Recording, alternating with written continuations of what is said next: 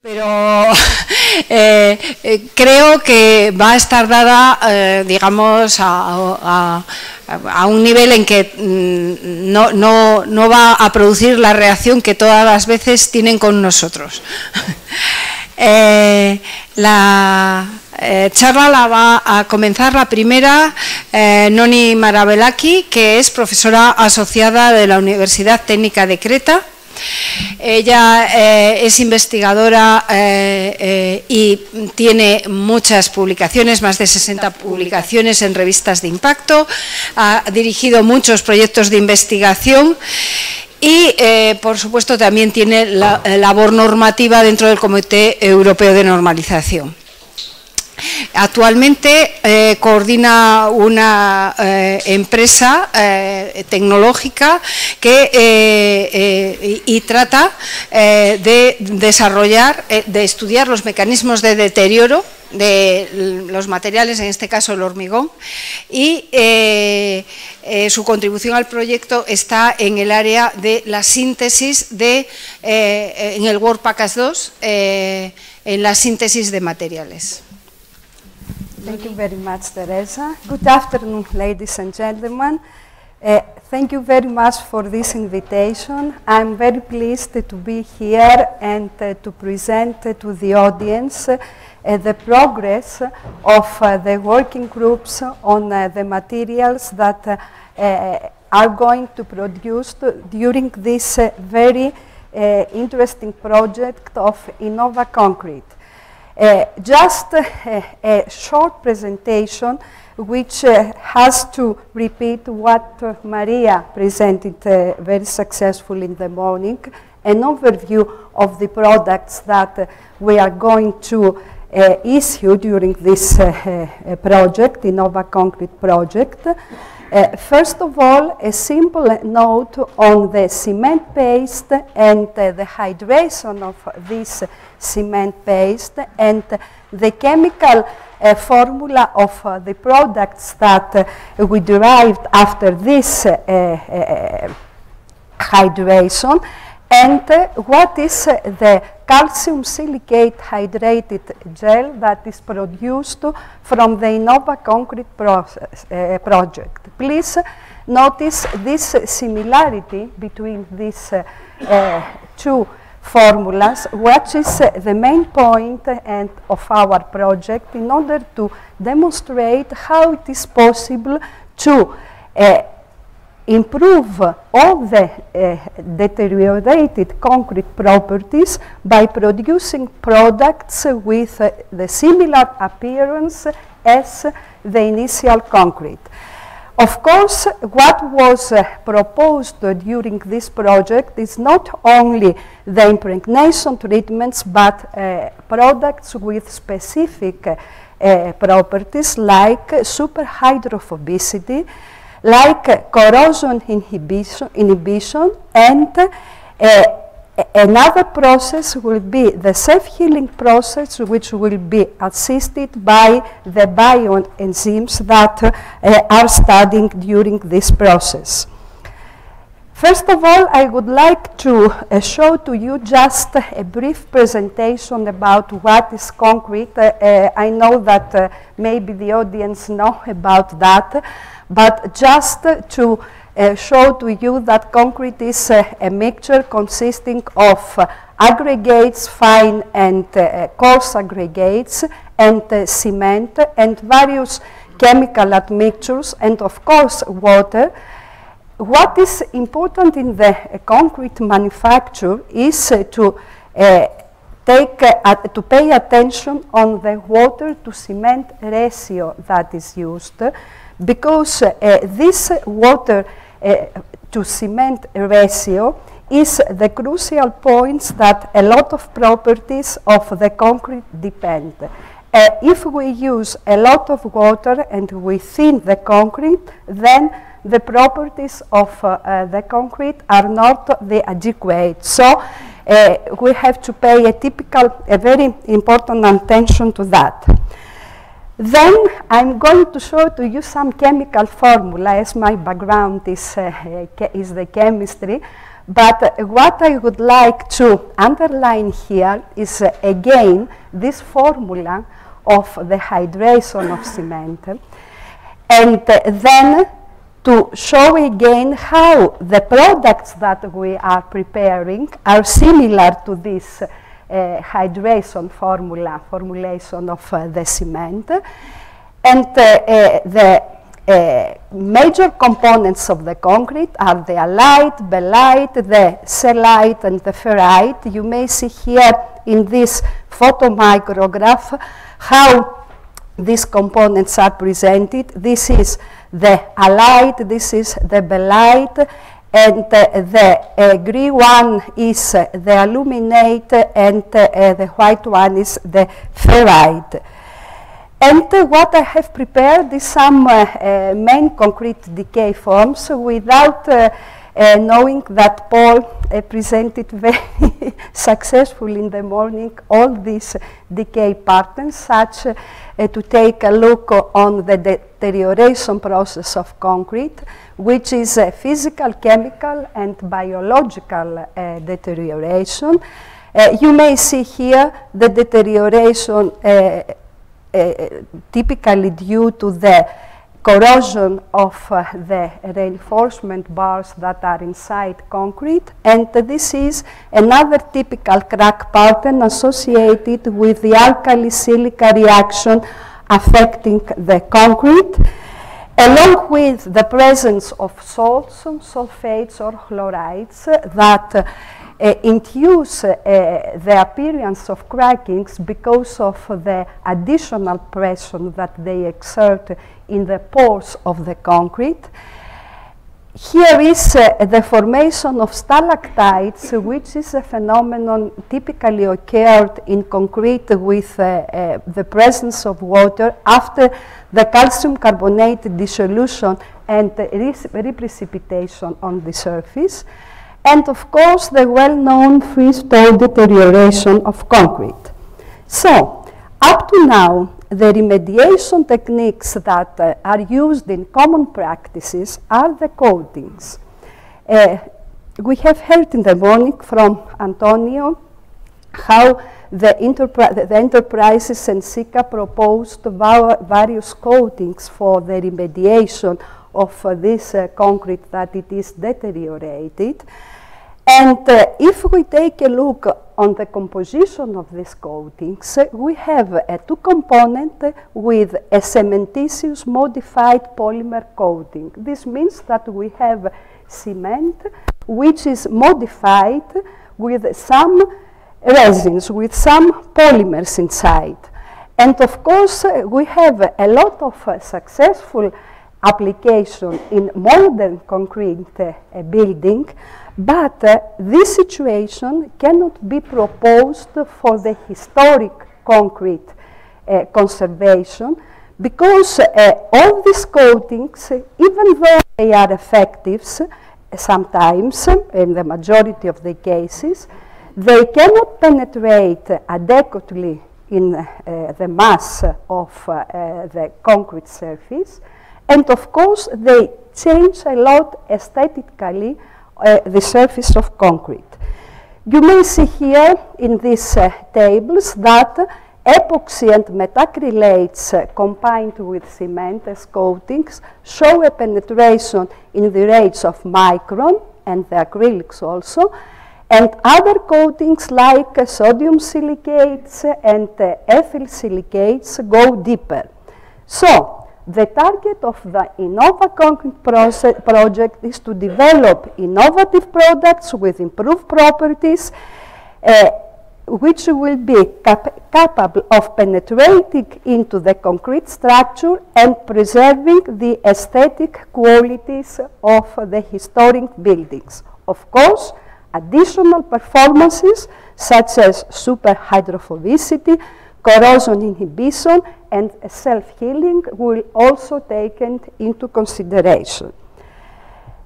And I'm starting now to present on behalf of my colleagues uh, the, uh, uh, the, the, work of the various groups.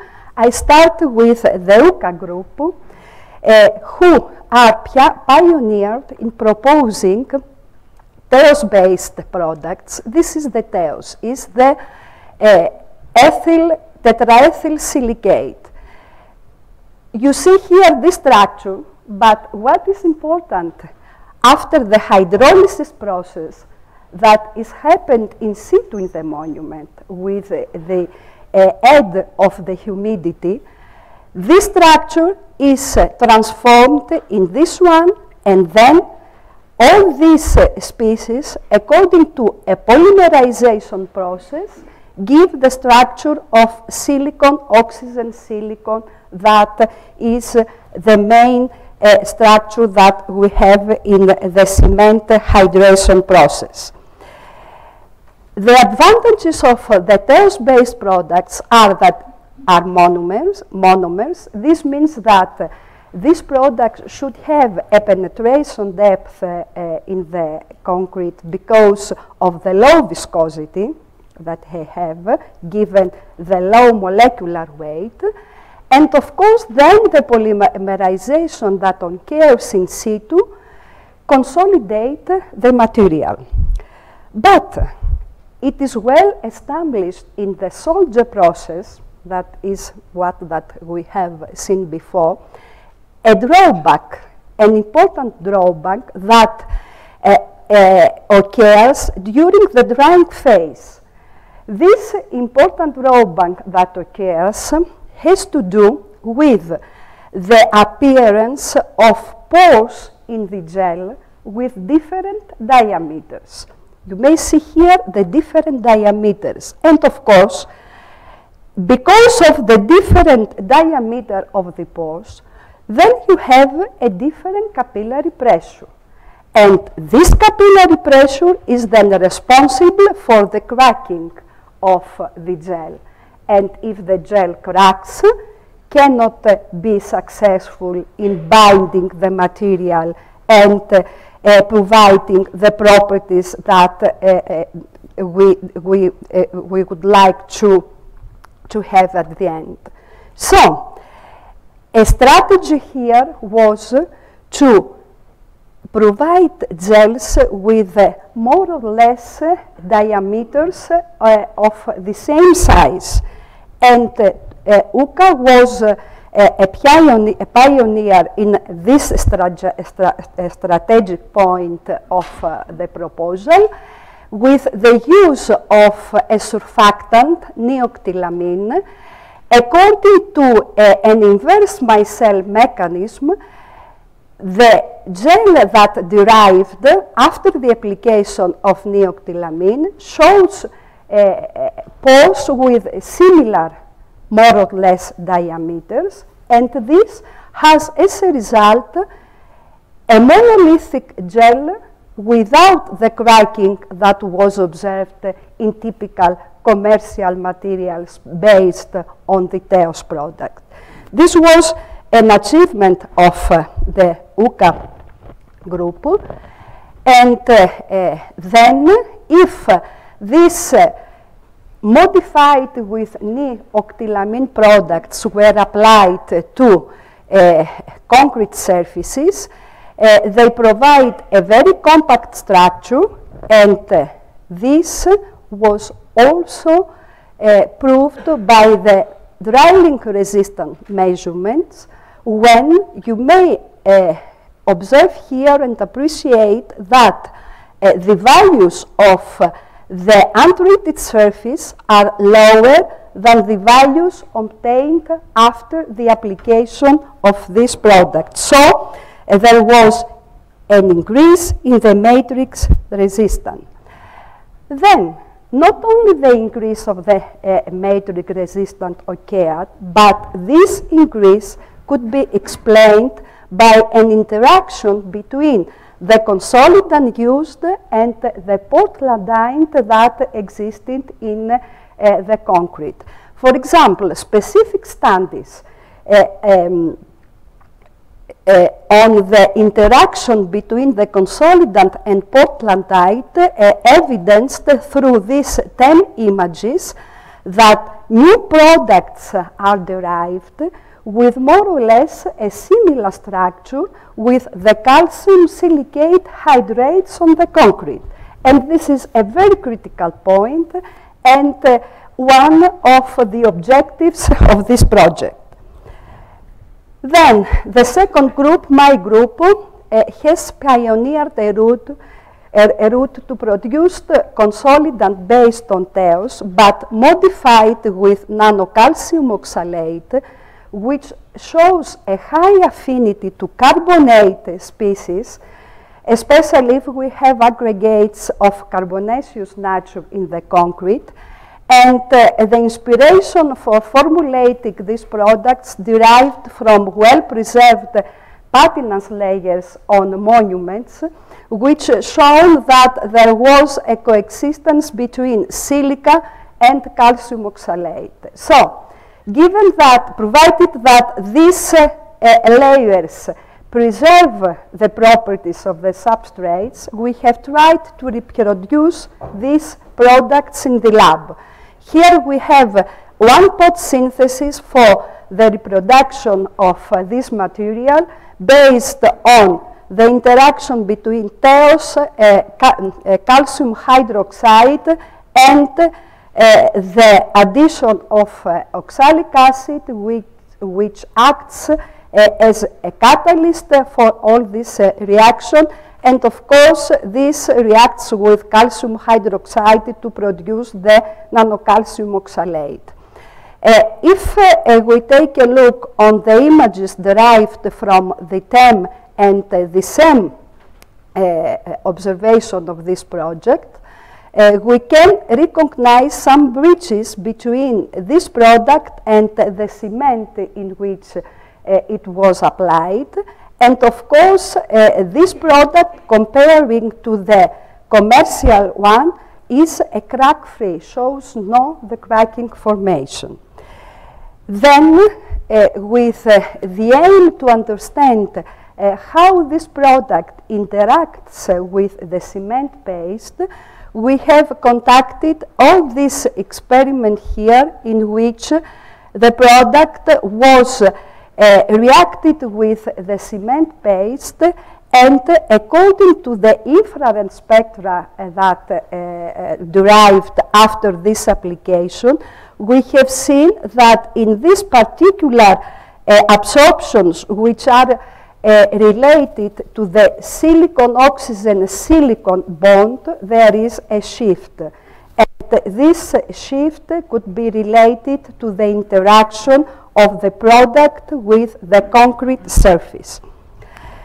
This interaction was further studied through the areas of the peaks obtained during these experiments, during these infrared experiments, and in this plot, you may see the monitoring of the peaks that are related to the hydration process, and in this plot, the monitoring of the peaks that are related to the carbonation process.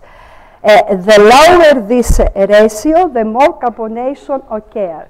What we can, uh, uh, uh, we can observe here is that in the early stages, the hydration process is higher than the carbonation process. This is a very good point because that means that uh, the hydration process uh, uh, comes first and then because of the carbonation we have more or less uh, similar, similar values between these two processes. There is always in a competition between uh, hydration and carbonation during the study of uh, uh, the uh, interaction between the product and the cement paste. Uh, the treatment of uh, concretes with this product evidenced that the application removed low, less material than the original one and this is another good result that it was taken into account. Along with here, uh, after the application, we have observed that some cracks were sealed and the chromatic uh, parameters were not changed in uh, unacceptable limits. Then I would like to present to you the uh, achievements and uh, the progress uh, on the synthesis and characterization of cementitious coatings containing alloy-side nanotubes, which is uh, a work that uh, uh, is going on by the University of Florence and the other institutes that are collaborated with them. What they have proposed is to uh, incorporate uh, allosite nanotubes into calcium silicate hydrated formulation. The allosite nanotubes are natural materials, are very cheap materials, and uh, they can be incorporated into the cementitious matrix and uh, contribute to the formation of uh, structures with enhanced mechanical properties. But not only that, another achievement uh, of uh, this uh, group was to incorporate in this uh, alloy site nanoparticles anticorrosive inhibitors uh, for the reinforcement rebars in the concrete, like the benzotriazole. Indeed, they have succeeded to incorporate this anticorrosive agent in the structure of the halloysite nanoparticles, and this was also evidenced and monitored through the spectrophotometric uh, studies, which show that there was a release of this benzotriazole, agent uh, in uh, several hours. So Carrying out another experiments with a cement uh, treated with this material and analyzing then the liquid extracted from this um, treated material, they have also demonstrated that there was a release of this anti-corrosive uh, agent, which then will be able to protect all the bars inside the concrete. The same group prepared some samples, mock-up samples, with uh, different proportions using Portland cement, using this alloy-site nanoparticles, and using also nanosilica particles. Uh, they put uh, again into this formulation the anticorrosive uh, uh, agent, the benzotriazole, and uh, what they have found is that there is an enhancement in the pozzolanic ac activity and an improvement in the impermeability of uh, these uh, new kinds, uh, new kind of products. Again, I'm going to present the activities of the uh, UCA group concerning the superhydrophobic products.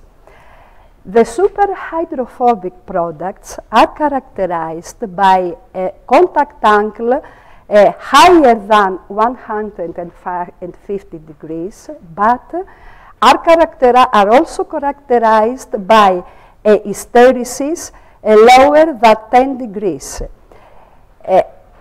The aim of uh, the superhydrophobic products is to reduce the surface free energy and to provide a roughening of the surface. Because uh, if these two requirements uh, are uh, uh, uh, succeeded, then we will have a superhydrophobic surface. The strategy that, uh, that was uh, achieved by this group was very well documented and uh, we may see here the difference between the untreated and the treated superhydrophobic services. Of course, there is a demonstration also outside uh, with uh, this video, uh, with the, the experiment. And the synthesis of these uh, superhydrophobic products is quite simple using silica oligomer with a neoctylamine, a siloxane, polydimethyl siloxane, and colloidal uh, silica particles which provide a nano-roughness structure with similar uh, nano-roughness appearance. This is an important thing to take into consideration, this uniform roughness that we would like to achieve. And uh, in these images here, you may appreciate the difference between the untreated and the treated surfaces. You may see here the uniform roughness of the surface comparing to the untreated surface.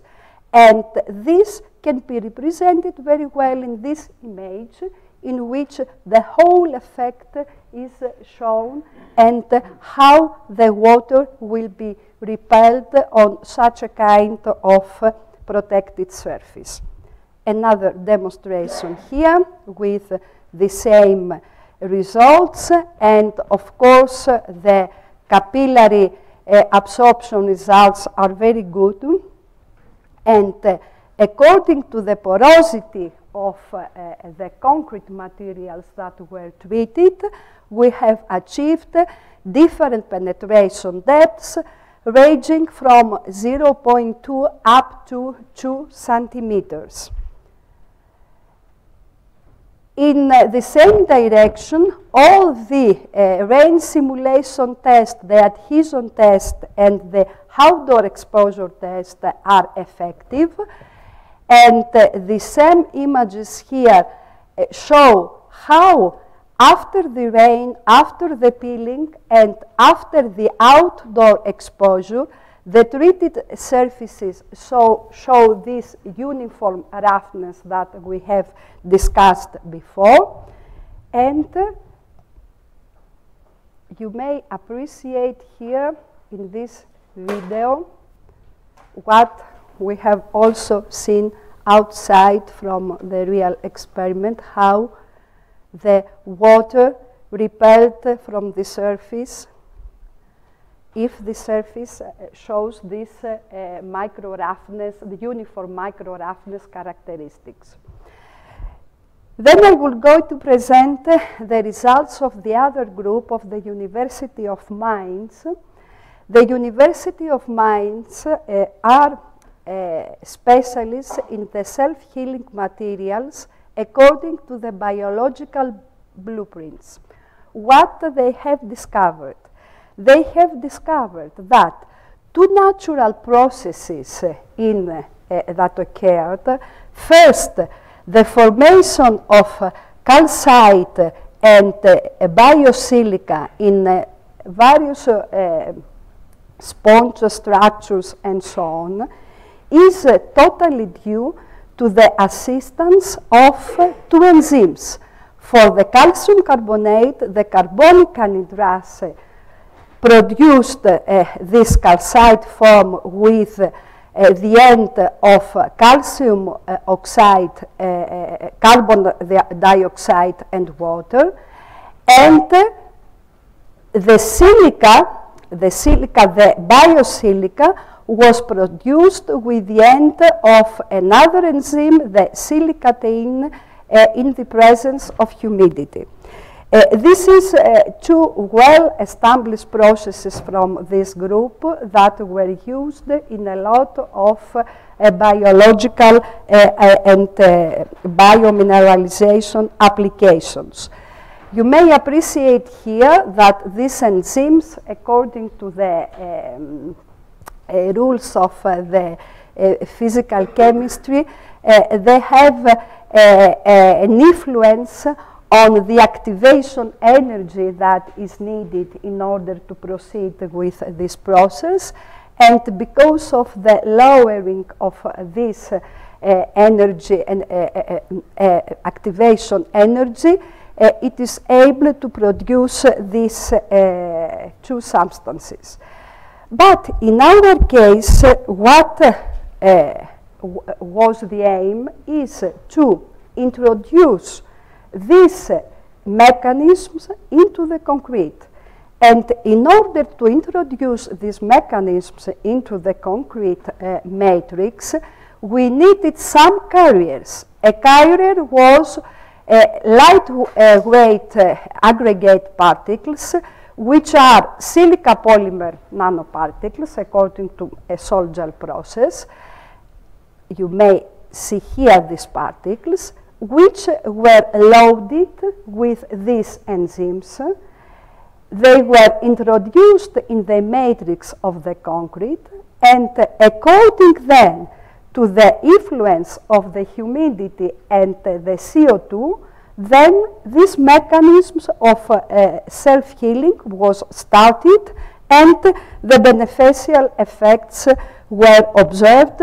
As you may appreciate here, these uh, materials were introduced into the concrete and uh, the mechanism of uh, the formation of this product was started. So, my conclusions. One of uh, the main uh, objectives of uh, the Innova Concrete process, uh, project was to develop long-lasting, practical, and affordable conservation products and techniques specifically addressed for preserving the concretes according to the results obtained from the, uh, from the modeling process and what was uh, uh, proposed in this project was to produce calcium silicate hydrate gels that can penetrate up to a depth of uh, 20 millimeter and even uh, more than 20 millimeter if it was the case.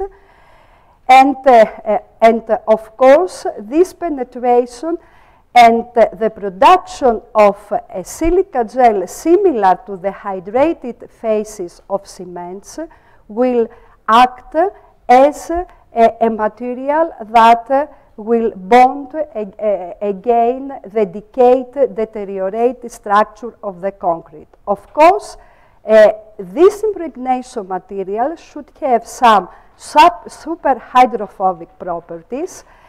And uh, these uh, superhydrophobic properties should be also combined with anti-corrosive pro pro properties and an aim was to combine these materials uh, and uh, to see how the impregnation treatments could be combined and uh, interacted and been together with the anti-corrosive agents and uh, the super hydrophobic pro, uh, products, which will provide uh, concrete surfaces with uh, contact angles higher than 150 and hysteresis angles below to uh, 10 and of course, the treatment will prevent uh, above 90% the water absorption. Then the enzyme-assisted biomineralization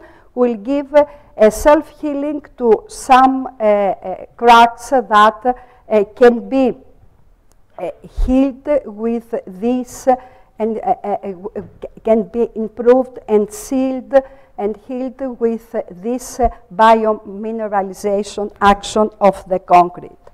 And of course, the expectation, this is my final slide of this project, was to provide to the future generation long-lasting structures like those of uh, the, uh, the Pantheon structures uh, Uh, keeping uh, the legacy of the technological achievements uh, that were uh, uh, up to now active from the study of these very important structures. Thank you very much for your attention.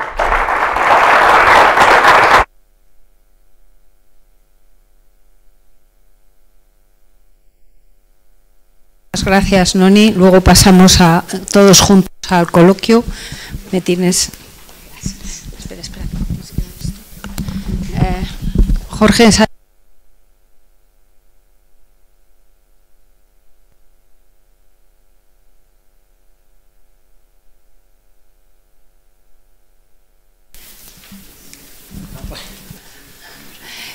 Tienes la presentación, ¿no? Sí, la, la vas sacando mientras te presento. Eh, bueno, Jorge Sánchez Dolado, doctor en ciencias físicas y eh, ha sido eh, el líder del grupo de diseño de hormigón verde en Tecnalia, pero actualmente trabaja en el Centro de Física de, de Física de la Materia en San Sebastián, que es una unidad coordinada del Consejo Superior de Investigaciones Científicas con la Universidad del País Vasco. Él eh, es experto en modelización y eh, fue uno de los pilares cuando empezamos a proyectar este proyecto eh, él ya había trabajado, digamos, en modelización de cementos.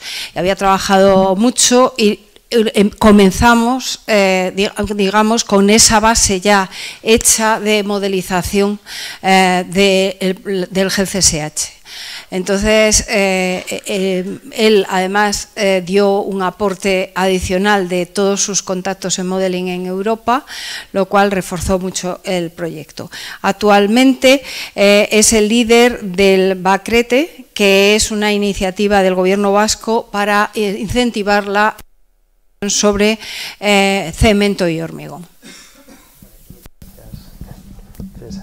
Por la presentación. Eh, bueno, digamos que estoy aquí un poco como persona un poco responsable moralmente de las tareas de modeling de este proyecto, aunque oficialmente tendrían que haber sido otras personas las que estuvieran in situ. De alguna manera soy el visualizador de lo que se podía hacer o de lo que queremos hacer y ahora me ha tocado a mí presentar los resultados de otras personas, que es lo que, espero presentar. Eh, como ya se ha dicho, ya no estoy en Tecnalia, estoy en el Centro de Física Materiales, que es en San Sebastián, una ciudad preciosa, a la que os invito a acudir si queréis conocer San Sebastián y sobre todo si queréis colaborar en este ámbito del mundo del cemento, el hormigón y en particular de materiales cerámicos más generalmente. La charla tiene básicamente cinco puntos, una cosa que llamo Ingeniería Genomic, Genomic Engineering, CSH Gel, Calcium Silicate Consolidants, a posteriori CSH Gelation and Conclusions. Eh, antes de nada, me gustaría empezar eh, haciendo una pregunta a la audiencia, a ver si conocen a este señor. En, español se llama Lobezno, en inglés es Wolverine, en español, pero ¿por qué es importante este señor? ¿Alguien sabe cuál es la real, los superpowers o el superpoder que tiene este señor? Pues es algo que tiene mucho en relación con lo que estamos tratando aquí. Y es que básicamente eh, es capaz de recobrarse de heridas, recuperarse de las heridas y sanar sus heridas a una velocidad muy, muy grande. ¿no? Realmente es, así. ¿Qué? Eh, la capacidad de curación no es algo que solamente pertenezca al ámbito de la ciencia ficción. De hecho, eh, hay muchos animales que también lo hacen. O sea, es algo intrínseco. Y de hecho es tan intrínseco que si tienen hijos de una edad de entre 4 o 6 años, seguramente conocen a ese señor, Bob Esponja, que es un arquetipo de animal al cual si le amputas un brazo, vuelve a aparecer otra vez el brazo. Bueno, en cualquier caso, fuera bromas aparte, lo que sí es cierto que en la actualidad hay mucha investigación en lo que se llama eh, ingeniería genómica, ¿no? y al final todo eh, tiende a ser la misma idea, es necesitamos hacer que el cuerpo sane de sí, por sí mismo. Y la palabra clave aquí es lo que llaman el growth factors, ¿no? que es lo que queremos, growth factors. Vamos para atrás, aquí. ¿Estás aquí? Sí. Queremos que el sistema tenga ciertos ingredientes que hagan que el sistema se regenere. Y para eso solemos poner, o, es interesante que sea intrínsecos al material, porque así va a ser eh, más propio. No haber rechazo, no haber eh, en contraste a esa ingeniería genómica es lo que aquí nosotros eh, estamos intentando aplicar en el proyecto Innova Concrete, que es la ingeniería genómica. Le llamo genómica porque lo que queremos promover es la aparición de gel CSH, que es el ingrediente que existe realmente, el binder completo que existe en el cemento. Queremos promover la aparición de algo intrínseco, endógeno. Básicamente es la idea, sería así. Si tú tienes un crack o lo que fuere, tendríamos que meter esa medicina mágica, que tendría que ser más o menos líquida, que fuera penetrando en los cracks o donde quisiéramos, hasta que eventualmente esa medicina reacciona de tal manera que tuviéramos una transición de un estado líquido a un estado sólido, gelificaría. La parte buena sería que esta parte ya solidificada tendría que ser muy parecida o de una naturaleza química y física muy parecida a, la del resto del material, evitando posibles daños estructurales posteriores, una misma adhesión, propiedades térmicas equivalentes, etc. etc, etc. Bueno, eh, obviamente lo que tenemos que hacer es que estos ingredientes que vamos a aquí favorezcan la aparición de gel CSH, que es básicamente lo que tendríamos que, tener, que es el 90% de lo que seguramente encuentre esos, esos, esas medicinas a su paso.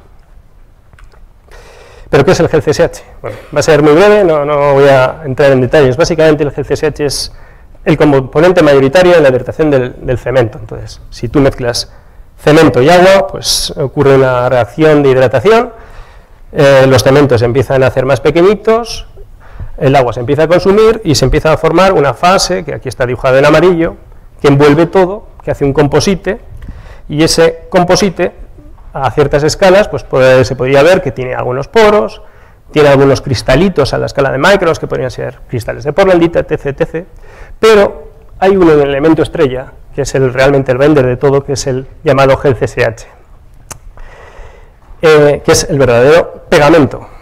¿vale? Ese pegamento es eh, bastante complicado, voy a ver si lo paso por aquí, mejor aquí.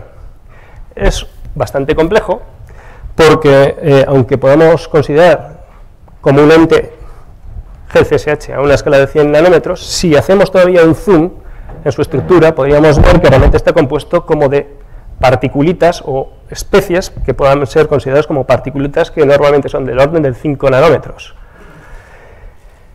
Es, de hecho, a esta escala donde se reconocen las propiedades coloidales del gel CSH. Si fuéramos a hacer todavía un zoom mayor de esta estructura, podríamos ver que a escalas más pequeñas estas piezas, que podrían ser como de en torno a 5 nanómetros, realmente tienen una estructura muy similar a la que se puede encontrar en arcillas. Es una especie de clay, se llaman tobermoritas, algo parecido a una tobermorita. ¿vale? Entonces, bueno, pues tenemos que tratar con estos, con estos señores.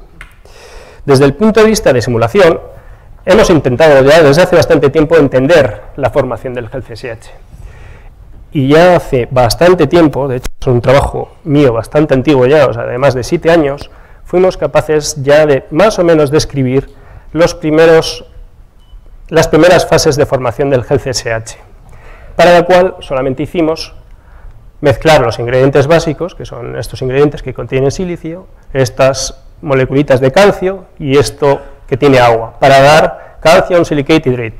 Eh, la notación del cemento, C, es óxido de calcio, S es CO2 y H es agua, una notación del cemento que también para mí fue un poco un descubrimiento. Pero bueno, en cualquier caso, si tú pones todas estas moleculitas, muchas de estas moleculitas, en una caja de simulación computacional, son muchas moleculitas, y describes la interacción atomística entre ellas, que eso es el secreto, y forma, tienes en cuenta cómo interaccionan cada átomo a átomo, ¿vale? que tienes átomo a átomo, estas moleculitas, y ya dejas el sistema evolucionar, pues llegas a estructuras, eh, bueno, eh, llegas a estructuras como esta, que es lo que encontramos,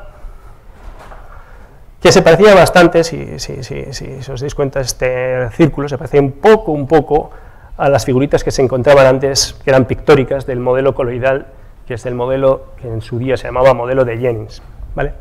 Entonces, bueno, mm, no parecía que estaba muy desencaminado la capacidad de la computación en reproducir la naturaleza real del gel CSH.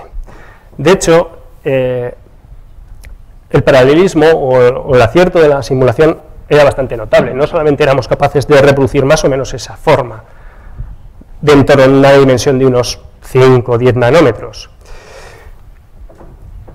Eh, el acuerdo con distintas técnicas experimentales como SANS, neutrones, por ejemplo, nos permitía ver que efectivamente estas configuraciones eran las correctas. Nosotros reproducíamos lo que realmente estaban eh, reproduciendo por técnicas experimentales de neutrones. También podíamos calcular el, el difractograma Y aunque sí es verdad que nuestras simulaciones reproducían geles de CSH simulados un poco más amorfos de la verdad, sí que éramos capaces de reproducir una cosa muy importante, que es que estas estructuras tenían un pico en torno a 1.4 nanómetros. Es decir, sí se eran unas clay lake structures. Ese es el segundo punto, sí son clays. Y otro punto importante y el más fundamental, esto está doblado, ¿no? Sí, pero bueno, es la conectividad. Hemos dicho que son el GCS, cadenas de silicatos sobre óxidos de calcio, y esos silicatos, o esas cadenas de silicatos, en el GCSH son estructuras lineales. Entonces, aquí lo que estamos reflejando en, esta figura es un parámetro que es Q3 más Q4, que quiere decir cuántas especies tienen estructura tridimensional, al menos tridimensional, frente a las reacciones de calcio-silicio. El porcentaje de estas estructuras es muy bajo, con lo cual quiere decir que lo que mayoritariamente estábamos formando son estructuras de layers o lineales. El otro parámetro que se investigaba era el Q-factor, que básicamente es dos veces el inverso de la longitud media de las, de las longitudes de los silicatos. Y se compararon con eh, valores experimentales medidos y con modelos de cristales bien definidos, como podía ser la tormorita llenita. Eh, los resultados eh, que se obtenían de la simulación eran bastante buenos, en el sentido que para las reacciones de calcio-silicio más razonables, en torno a 1,5, bueno, o de entre 1 a 2 aproximadamente, las longitudes de las cadenas eran entre dímeros, pentámeros, etc. Algo así. Eran cortas las cadenas de silicatos. ¿vale? Después de esta larga digresión acerca del GCSH y de ciertas cosas que ya sabíamos del GCSH, entra un poco en, relación a la sintonía del qué es lo que estamos haciendo o qué se está haciendo en el proyecto Innova Concrete. Y aquí básicamente hay distintas alternativas o distintas propuestas. Unas de ellas se basan en directamente utilizar la propia polimerización, utilizar los teos y eh, soluciones de eh, porlandita, etcétera, para hacer la polimerización del GCSH in situ, de los consolidantes. Pero también hemos visto que hay otras alternativas que están intentando utilizar propiamente nanotubos, de, en este caso de aloisita, pero podrían ser nanotubos de una naturaleza similar a la naturaleza del GCSH, que es un poco el secreto.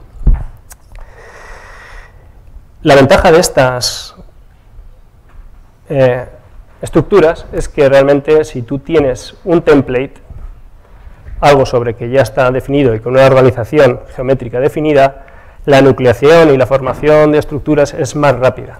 Entonces eso es, a priori, es una ventaja, que intentar otra vez formar toda la estructura desde el principio como sería la anterior. Pero bueno, eso es en teoría. Entonces, la idea de añadir nanopartículas o nanofibras ya con una estructura similar a la estructura del GCSH no es nueva. Estas nanopartículas, o, lo que, o nanofibras, eh, funcionan como templates o puntos de nucleación.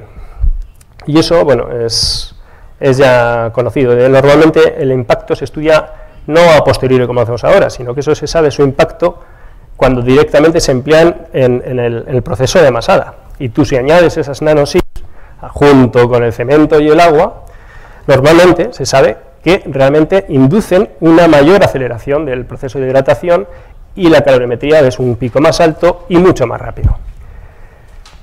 Vamos, que hacen que el GCSH crezca más rápido. Esto es, experimentalmente creo que los primeros que lo, demostraron fueron Jeffrey Thomas y Hamlin Jennings y Jeffrey Chen, ya hace algún tiempo también, en el cual se, perdón, en el cual se ve que en función de la cantidad de nanosit, de gel CSH sintético que tú vas añadiendo, pues el pico se hace más alto y encima ocurre antes.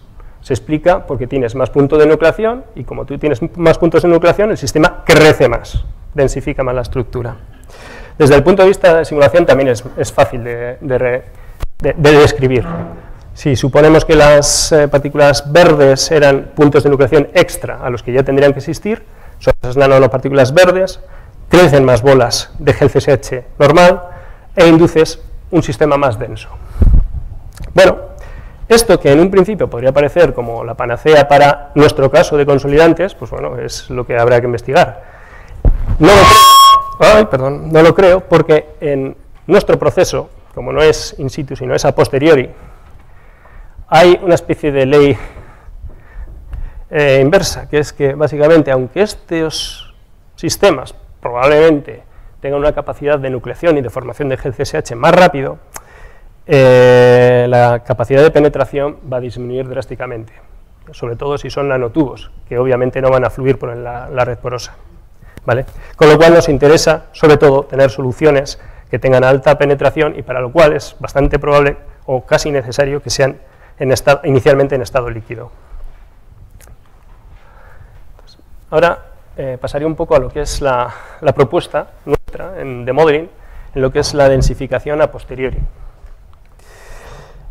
En el proyecto es un proyecto que tiene en cuenta distintas escalas canales, desde un sistema eh, que describe la estructura y el esqueleto cementicio, o sea, desde granos de cemento hidratados, forman una estructura, les hacemos cualquier mecanismo de degradación, bien propiedades mecánicas, bien por degradación por sulfatos, ataque de sulfatos, carbonatos, etc., a una escala de, de, los, de micras y más para arriba, de micras, milímetros, etcétera, somos capaces de predecir la estructura por unos códigos de computación que ya estaban ya elaborados en un proyecto que coordiné hace tiempo, que se llama el proyecto Códice, con lo cual sabemos más o menos describir esas estructuras ya degradadas.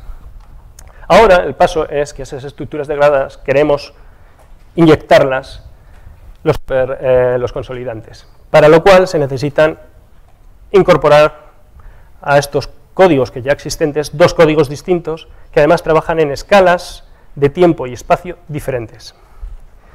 El código Yantra es un código que se basa en una cosa que se llama Lattice Ball Transport, que describe muy bien el flujo de flujos o de fluidos o incluso de sols, también podría ver, a lo largo de redes porosas, que es perfecto para lo que queremos. El único hándicap que podría tener, o que tiene, es su resolución temporal y espacial. La resolución espacial es del orden de la micra, o sea, no puede ir por debajo de la micra aproximadamente. Y a resolución temporal no es que no pueda ir muy lejos en el tiempo, puede ir. Lo que no puede es captar procesos por debajo de los microsegundos. Es decir, todos los procesos que ocurran por debajo de los microsegundos no los ve esta técnica. ¿vale? Y por otra parte, eh, tenemos que incorporar un método más fundamental que sea capaz de dar de input a este señor, a, a este código, lo que él no puede dar es decir, procesos de gelificación, etc., y procesos que ocurren mucho más rápido y a escalas de temporales, escalas de temporales y de espacio mucho más, más cortas. Entonces, este era un poco el reto que teníamos. Anteriormente hemos visto que sí somos capaces de describir el, el GCSH, ¿vale? Con Molecular Dynamics, más o menos sabemos. Pero la escala al que eh, Molecular Dynamics accede en el mejor de los casos, es nanosegundos. Y la longitud o la resolución espacial a la que podemos acceder es del orden de 10 nanómetros, eh, que es bastante lejana a las necesidades del código Yantra, que es lo que necesitamos. Nosotros necesitamos escalas de tiempo que al menos llegue a los microsegundos y escala temporal de al menos, bueno, cercana a la micra. Computacionalmente es un reto y es precisamente el reto que estamos desarrollando o que creo que ya hemos resuelto aquí en el, en el proyecto Innova Concrete. Entonces, necesitamos ser capaces, esto ya éramos capaces antes con Molecular Dynamics, más o menos ver la formación de estas especies, pero ahora necesitamos un código que sin perder demasiada precisión seamos capaces de predecir escalas de este orden, del orden de 100, 100 nanómetros ver in situ procesos de gelificación. ¿Vale? Y para ello hemos utilizado una técnica que eh, elaboramos, bueno, elaboró en su día Tecnalia y el CNRS, eh, en, colaboración con Jean-Christophe Gimel del CNRS, y que curiosamente es divertido, pero que ninguno de los que estamos aquí estamos actualmente en la afiliación que marca. este se fue a la Universidad de Anger, este que soy yo, ahora estoy en el CSIC, y Chuta Prabhu, que era el, el, estudiante, el PhD student de Gmail, fue luego posteriormente mi postdoc y es el que realmente está actualmente en Tecnalia. Pero bueno, entre, da igual, los, estas personas desarrollamos un código que se llama el Patchy Brownian Cluster Dynamics, que es lo que estamos empleando y que creemos que puede satisfacer esta necesidad de saltar de los nanosegundos a los microsegundos y de los nanómetros en resolución de escala a los microescala. ¿vale? Entonces, ¿en qué se basa? Bueno, es básicamente leer los nombres. Es Patchy Brownian Cluster Dynamics. Primer adjetivo, Brownian. Brownian quiere decir que las partículas se mueven de manera browniana. Eh, gran punto a favor, no tenemos que resolver la interacción átomo-átomo. No necesita saber un señor dónde están el resto de los átomos para poder evaluar dónde estarán en un tiempo posterior. Básicamente, cada partícula tiene un movimiento aleatorio. No hace falta considerar los solventes. En las simulaciones de Molecular Dynamics, muchas veces tenemos que meter muchas, hay muchas moléculas de agua que realmente no hacen gran cosa más que eh, consumir recursos de computación. Son importantes, pero consume mucho tiempo de computación y son muy mayoritarias. Aquí no. Entonces, eso salva computación. Vale, segundo aspecto, es cluster, Brownian Cluster Dynamics. Aquí, las interacciones entre las partículas sí se tienen en cuenta, no digo que no se tengan en cuenta, pero de una manera muy aproximada y básicamente solamente para saber si una, dos partículas están in range, o sea, están en alcance o no, si están dentro del pozo potencial de atracción, hay una probabilidad de que se linkeen o que no. Si se linkean, se formaría un clúster, lo cual a su vez favorece mucho el proceso de, la dinámica, porque ya se moverían las dos partículas juntas. Es como si pierdes una, única, una partícula menos que tienes que tener en cuenta para simular, porque ya van las dos juntitas. ¿vale? Hay probabilidades de juntarse o no.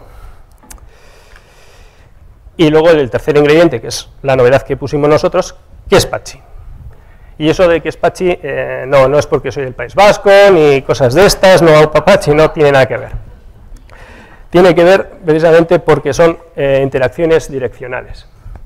Entonces, eh, las partículas, aparte de ese pozos de atracción que son isotrópicos, tienen ciertas áreas de interacción con las cuales pueden interaccionar con las partículas. ¿vale? Realmente es, igual al juego de los dardos, bueno, las bolas con velcro de los niños. Básicamente es así. Si pillan los velcros y están en esa justamente esa dirección, se pegan. ¿Vale? Pues es hacer eso. Entonces, hemos utilizado esta tecnología para hacer una cosa bastante, eh, yo creo, nueva, que es intentar simular una nueva química, química de valencia. Es decir, en vez de jugar con SIP o H4, vamos a jugar con una especie que le vamos a llamar, que es la especie de silicio, y con cuatro patchy directions. ¿okay? Y lo mismo para la función del calcio, que va a tener 6, pues es octaédrico. ¿qué, tiene de ventaja? Pues bueno, lo mismo que antes, no jugamos con, el solvente, no necesitamos gastar el tiempo en, resolver ecuaciones diferenciales. Lo único que tenemos que tener en cuenta es dónde está en cada partícula en, el espacio del tiempo para saber si puede haber algún, la formación de un bond o un link y a partir de entonces, eh, bueno, ellas se moverían conjuntamente. Importante hecho es que el tiempo característico, que normalmente se define como el tiempo que tardaría una partícula en difundirse una longitud igual a su propio tamaño, es del orden de 10 nanómetros. Si ustedes consideran la, bueno, la viscosidad del agua y el tamaño, saldría esto, 10 nanosegundos, que ya de por sí es más grande, ya el time step ya es más grande que lo que podíamos acceder anteriormente con Molecular Dynamics. El problema es, sí, sí, esto puede ser una aproximación numérica, pero lo que nos importa es que esta aproximación numérica realmente capture la física que queremos y seamos capaces de predecir la polimerización del GCSH que queremos. Y para eso hemos hecho un benchmarking entre eh, lo que en su día hice yo, ahora hace unos siete años o equivalente, o ocho, no me acuerdo, y lo que actualmente Achu acaba de hacer dentro, Achuta Prabhu, que es la persona de Tecnalia, ha hecho dentro del proyecto Innova Concrete. Básicamente, a ver si lo pinto por aquí, sí. ha puesto muchas de estas eh, moleculitas con 4 y, 6 patches, unos siliendo silicio calcio, cambiando la concentración de una y otra, jugando con la concentración total en el volumen, y va viendo la formación de partículas. ¿vale? Aquí en este caso se ha estudiado para una concentración en volumen de un 10%, para una relación calcio-silicio 0,7 y una longitud pequeña de 10 nanómetros, para hacer lo mismo que hice yo en su día hace, hace tiempo. Es un benchmark. ¿vale? Pero bueno, eh, la primera cosa que es importante es de ver es que eh, parece como que sí hacen algo. Las QN está asociada a la polimerización de las cadenas de silicatos. Los Q0, que son estas partículas, serían las que, los monómeros, los que no están atados con ninguno. Ya cuando hay dos juntos, eh, serían Q1, que ya empiezan a aparecer. Pero luego aparecen también Q2, que quiere decir que ya al menos tenemos tres partículas juntas, etc, etc, etc. Bueno, tienen buena pinta, digamos que esta cosa. Y el segundo aspecto a resaltar, que básicamente, con un cálculo más o menos de prueba, llegamos al orden de una escala temporal de 10 a la 4 t ceros, que si os recordáis, eh, que t0 era 10 eh, a la menos 9, o 10 veces t a la menos 9, o sea, 10 nanosegundos, estamos hablando ya de microsegundos. Es decir, que la escala temporal, así bote pronto ya, de para empezar es la correcta. Ya no tendríamos un problema de salto de escalas entre el código Yantra y el código del Patchy Brownian Cluster que hemos desarrollado aquí. Pero va más allá. O sea, no solamente es que somos capaces de hacerlo en el tiempo, sino que somos capaces de hacerlo en el tiempo de la manera correcta. Estos son los valores de las estructuras tridimensionales frente a las relaciones calcio-silicio, comparado para distintas densidades de bolas dentro de la simulación y para eh, comparado con los experimentos experimentales que hay y los valores teóricos previos que había hecho yo con Molecular Dynamics. Y básicamente se ve que se obtiene la, trend correcta, que básicamente cuando la reacción calcio-silicio es más alta, el número de estructuras tridimensionales baja. Está en el mismo orden. ¿vale? Importante también ver que cuando, que eso no en Molecular Dynamics no es fácil capturar, que cuanto la concentración del sistema es mayor, aparecen estructuras, eh, eh, la, aparición de estructuras tridimensionales es mayor. Eso es también una cosa que hay que tener en cuenta. Que no solamente estamos reproduciendo lo que ya tenía, sino que la habilidad de este código para tratar cosas por más tiempo y más tiempo y de una manera yo creo mejor, eh, nos permite ver efectos que antes no eran, tan no eran tan obvios. Y esto es básicamente la longitud de las cadenas, que otra vez vuelve a ser lo mismo. Somos capaces de capturar la tendencia correcta que dice que cuanto más sea la relación calcio-silicio, las cadenas de silicatos son más cortas, y aparte, aquí también lo mismo que antes, somos capaces también, el PVC, el Patchy Brown Cluster Dynamics, capaz de distinguir el impacto entre distintas concentraciones, y se ve que cuanto la concentración es mayor, las cadenas son más largas. Es decir, cuanto más concentración hay, más eh, polimerización existe. Es una obviedad, pero en Molecular Dynamics no es fácil hacer ese tipo de estudios. Y vamos a lo de la gelificación, que es realmente lo que queremos. Queremos predecir momentos y tiempos y cuándo un sistema va a gelificar. O podemos decir cuándo el sistema va a gelificar, que es lo importante para el, para el paso del fluido, que de momento deje de ser fluido y sea sólido y ya consolide la estructura. Bueno, para ello hemos estudiado la formación de clústeres, de esos polímeros, esas cadenas de, silicatos que se van juntando y eso se define con la MN, que es el Average Aggregation Number of Non-Percolating Patches Clusters. So, básicamente es el solvent, lo que, lo, que no está eh, sin percolar, digamos, es todo aquello que no percole. Y percola es toda aquella estructura que forme una, una estructura tridimensional unida de lado a lado de la celda de simulación, es decir, que haya, se haya expandido por toda la red ¿vale? Que haya un path, un path que atraviese toda la celda de simulación. Eso quiere decir un clúster. Entonces, cosas que se han visto, y es muy interesante, es que obviamente hay una dependencia. Bueno, veis aquí que en este punto los solvents van creciendo, el, el clúster, este clúster crece hasta que hay un momento, pum, que bajan. Como estos son los de solvent, esto quiere decir que este punto es el punto de gelificación del sistema. Y es dependiente de la concentración. En el caso de, de una concentración de un 10% no existe este punto y cuando estamos en concentraciones de 0,40 aproximadamente es claramente visible este, este pico. De hecho, se puede hacer, que es una de las cosas importantes, un diagrama de fases entre eh, relaciones calcio-silicio y concentración necesarias para que la gelificación tenga lugar. Y básicamente, eh, así a bote pronto, aunque faltan muchos más datos y más, mm, eh, se han hecho solamente cuatro casuísticas, 0.10, 0.20, 0.30, 0.39. Habría que hacerlo con más detalle, etc, etc.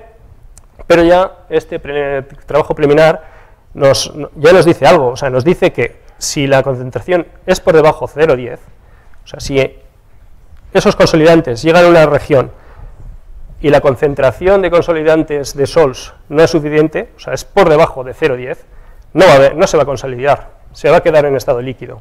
¿vale? la otra consecuencia también es muy importante, es que la relación calcio-silicio afecta, y que es mejor que sea no mayor que 2, al menos. O sea, que es mayor que 2 no es interesante. ¿Vale? Esas, por eso, este, estos señores son peores que estos, y estos mejores. O sea, alta concentración y relaciones calcio-silicio más bajo para garantizar que exista un proceso de gelificación.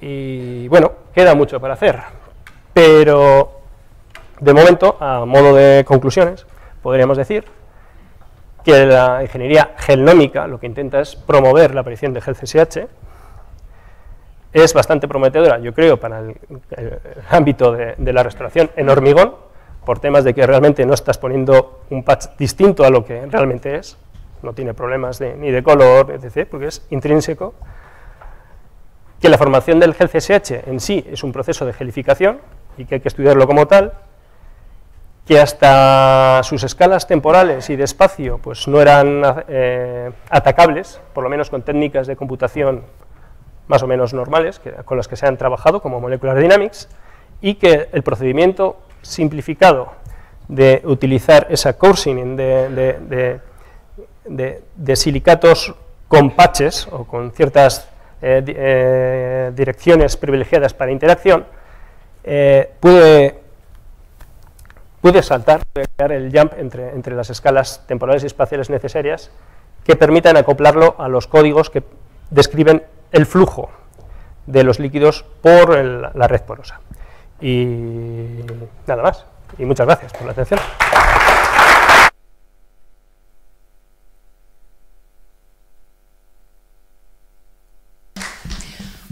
Gracias, Jorge, por el esfuerzo hecho por hacernos comprensible eh, eh, toda tu ciencia.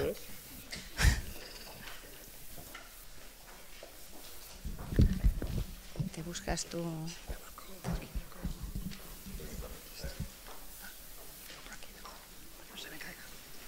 Voy a hacer una cosa. Me voy a fijar con esto, porque si no se le va a doblar. Ahí, mucho más. Te buscas tú el. Bueno, eh, la siguiente ponente eh, es eh, Inés García Lodeiro es doctora en Ciencias Químicas eh, por la Universidad Autónoma eh, de Madrid. Eh, es autora de numerosos trabajos de investigación en revistas de reconocido prestigio. Ha trabajado en los últimos años en la Universidad de Aberdeen, luego ha trabajado aquí en España, finalmente ha estado un par de años también en la Universidad de Sheffield y ahora la hemos recuperado para el proyecto y digamos que está involucrada en todo lo que es el WordPackers 3, que es el, hacer la validación eh, de los productos, eh, hacer envejecimiento de, materiales artificial y eh, luego para poder validar los productos que estamos desarrollando y también para poder validar los modelos que se están elaborando computacionalmente. Inés no va a hablar prácticamente de nuestro trabajo en, en envejecimiento, sino en las técnicas y herramientas para el estudio de la interacción de los tratamientos con el hormigón. Muchas gracias, Ita, por tu amable presentación. Bien, eh, como bien os acaban de decir, yo voy a trataros de hablar de este tema, pero antes de ello, pues me gustaría hacer un breve repaso de lo que conocemos sobre el hormigón, aunque ya, bueno, os puede causar un poco repetitivo porque ya me lo han pisado. Eh, bueno, el hormigón de cemento Portland es hoy en día el material de construcción por excelencia y es así por diferentes motivos, eh, fundamentalmente por sus excelentes propiedades tecnológicas, por su amplia disponibilidad a nivel mundial, podemos encontrar cemento y áridos prácticamente en todos los lugares del mundo y también por su bajo precio en relación a otros materiales que se usan en construcción. Eh, bien, la mayor parte del hormigón que se produce hoy en día se consume en obra civil, para la construcción, por ejemplo, de puentes, presas, eh, viaductos, y bueno, hay también, eh, como hemos visto esta mañana, numerosos ejemplos en, arquitectura. Y es en el siglo XX, sobre todo a partir de los años 50, cuando empieza a revalorizarse y considerarse para usarlo en, esculturas y conjuntos escultónicos que tienen pensado su exposición al aire libre. Si volvemos a la definición del hormigón, que bien nos ha contado Noni hace un ratito, eh, podemos definir el hormigón como una piedra artificial, ¿no? que es el resultado de la combinación de los áridos con un complementante inorgánico que sería la pasta de cemento hidratada. Eh, Hoy en día casi todos los hormigones, y bien lo sabe Antonio, eh, llevan pequeñas proporciones de, compuestos químicos que son los aditivos, que son compuestos que se añaden para modificar alguna de las propiedades, como bien se ha dicho, para reducir la relación agua-cemento o para que obtengamos resistencias, por ejemplo, a muy corto plazo. Como resultado de la combinación de todos estos compuestos, tenemos un sistema multicomponente muy heterogéneo. Bien, pues si analizamos la microestructura, este, de, estos hormigones pues podemos ver la presencia de diferentes fases. Tenemos los áridos, tenemos eh, la matriz cementante, que sería la pasta de cemento hidratada, que es este pegamento que, como bien nos ha dicho también Noni, y en charlas anteriores va a dar eh, cohesión al conjunto. Tenemos también partículas de cemento anhidro o parcialmente hidratadas. Tenemos productos de reacción secundarios, por ejemplo aquí precipitando en poros, y tenemos por supuesto también el sistema poroso. Bien, pues decir eh, que esta microestructura va a ser una de las principales responsables del comportamiento durable y del comportamiento resistente de nuestros hormigones. Si queremos eh, entender la microestructura de los hormigones, debemos ir un poquito para atrás y tenemos que pensar qué tipo de reacciones están eh, ocurriendo en nuestros sistemas. sabéis que la pasta de, o sea, perdón, el cemento anhidro tiene una serie de componentes, componentes clinker, que como también nos han mencionado anteriormente, pues son fundamentalmente los silicatos cálcicos, la lita y la velita, tenemos también la fase ferrítica y los aluminatos tricálcicos. Estos se muelen muy finamente, muy finamente y se añaden eh, otro reactivo que es el yeso que se añade para regular el fraguado. Bien, pues estos, estos eh, compuestos son hidráulicos. ¿Esto qué quiere decir? Que van a reaccionar con el agua para generar productos de reacción. En esta diapositiva os he puesto los productos de reacción que se generarían eh, consecuencia de la hidratación de los silicatos cálcicos. Tenemos nuestro gran protagonista, que es el gel CSH, que es el principal producto de reacción, el principal componente de la pasta de cemento hidratada, y tenemos la porlandita, que es el producto secundario de, reacción. Bien, y bueno, aquí un poco de recordatorio de lo que sabemos del gel CSH. Bueno, pues eh, es el componente mayoritario, es un compuesto que es amorfo desde el punto de vista morfológico, si bien es amorfo, sí que va a tener un corto o una orden a corto alcance, como bien nos ha enseñado Jorge en las, diapositivas anteriores, la presentación anterior. Eh, es un compuesto que tiene elevada porosidad, tiene una morfología que puede variar y eh, lo que es más importante, que tiene propiedades adherentes y las propiedades resistentes. Luego, por otro lado, la porlandita en este caso era el producto secundario que cristaliza en forma de placas hexagonales y en este caso pues, no va a aportar resistencias.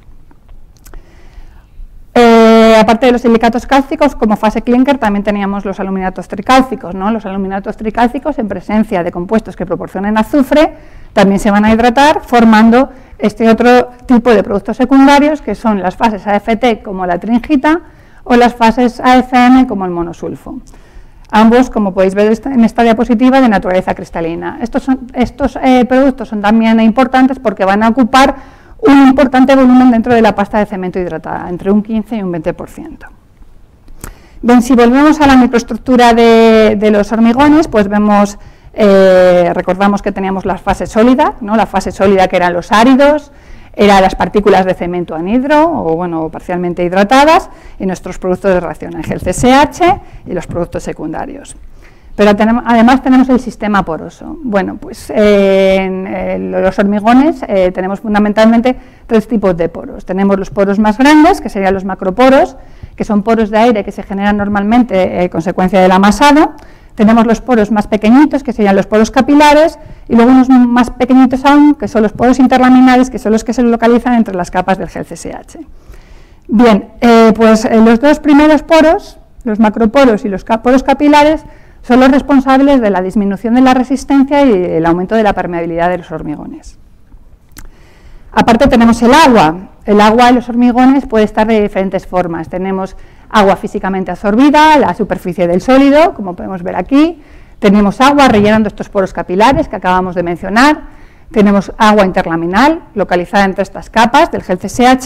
Y tenemos el agua químicamente combinada del gel CSH, que forma parte de su estructura.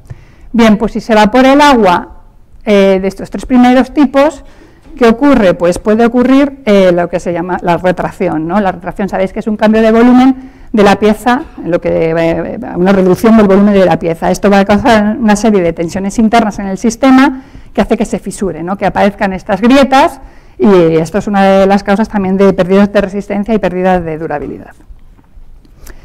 Bien, entonces, ¿cómo, relacionamos la microestructura con la durabilidad? Bueno, antes hemos mencionado las excelentes propiedades tecnológicas del hormigón. Estas eh, propiedades tecnológicas van a depender de múltiples eh, factores, como puede ser el tipo de cemento, eh, el árido, la granulometría y la distribución granulométrica que, sigamos, la dosificación, es decir, la relación agua-cemento, la relación árido-cemento que empleemos, las condiciones de curado, la edad, etcétera. En líneas generales, un hormigón correctamente diseñado, preparado y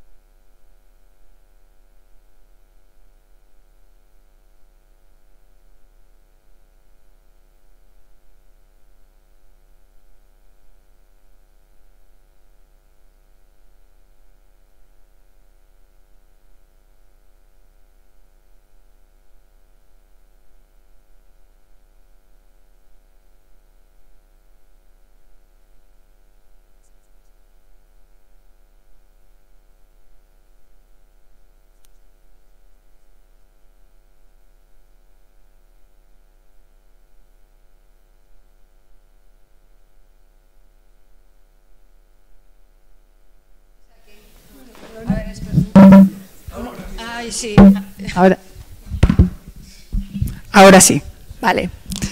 Eh, bueno, retomamos. Eh, ¿Por qué se deterioran los hormigones? Bueno, pues eh, estaba comentando que de la piedra el hormigón es un producto termodinámicamente estable. ¿Qué quiere decir esto? Quiere decir que su microestructura se va a ir modificando con el tiempo, va a interaccionar con el entorno y puede experimentar este deterioro. En esta tabla eh, he querido recoger pues, cuáles son los principales procesos de deterioro que puede experimentar eh, nuestros hormigones. ¿no? Las causas eh, tienen fundamentalmente dos orígenes, que son las causas de origen físico, como pueden ser los cambios extremos de temperatura o la abrasión o la erosión, y causas también de origen químico, como puede ser, por ejemplo, la formación de sales expansivas o reacciones de intercambio entre el agente agresivo y la pasta de cemento hidratada. Bueno, independientemente de cuál sea la causa de deterioro, todas ellas tienen la misma consecuencia. Bueno, eh, sí, básicamente un aumento de la porosidad y un aumento de la permeabilidad. Y es aquí donde entran a jugar parte de nuestros tratamientos de conservación, que yo no voy a hablaros porque ya os han hablado muy bien en la clase de NOMI, simplemente decir bueno, pues que nosotros estamos produciendo eh, tratamientos de este primer tipo que van a reaccionar químicamente con el sustrato. Ah, espera que me cambien. Perdón.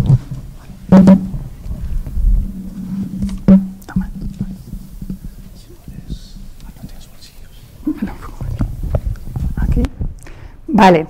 Eh, bueno, Aquí únicamente me gustaría comentar que nosotros eh, podemos simular los procesos de deterioro en el laboratorio, no tenemos que esperar los meses o los años que se tarda en deteriorar los, sistemas para, eh, para, probarlos. Eh, lo que hacemos nosotros es una serie de ensayos de envejecimiento acelerado y es parte de este proyecto. Estamos envejeciendo morteros de cemento, tanto desde el punto de vista físico como desde el punto de vista químico. Eh, bien, ¿cómo van a actuar estos tratamientos? Bueno, también esto os lo ha explicado muy bien Nani, aquí simplemente me gustaría recordaros cómo actuaría un consolidante normal, como es, bueno, tradicional, como es el TEOS, en un soporte típico como es la piedra. En este caso, bueno, pues eh, hay dos tipos de reacciones, ¿no? La primera reacción que es la reacción de hidrólisis, en el que este consolidante se va a romper para liberar alcohol etílico, alcohol que se evapora y queda esta serie de grupos SiOH terminales, ¿no? La segunda reacción sería la reacción de condensación, en la que estos grupos SiOH reaccionan con más grupos SiOH, polimerizándose y también pues, con grupos OH de la piedra, formando finalmente lo que sería un gel de sílice. Sin embargo, hemos dicho que la microestructura de nuestros hormigones es diferente, porque tenemos porlandita y tenemos gel CSH. Entonces, ¿cómo van a actuar en nuestros, nuestros eh, productos aquí? Bueno, pues el primer paso es común, es la hidrólisis, pero en el segundo paso hay dos reacciones en competencia.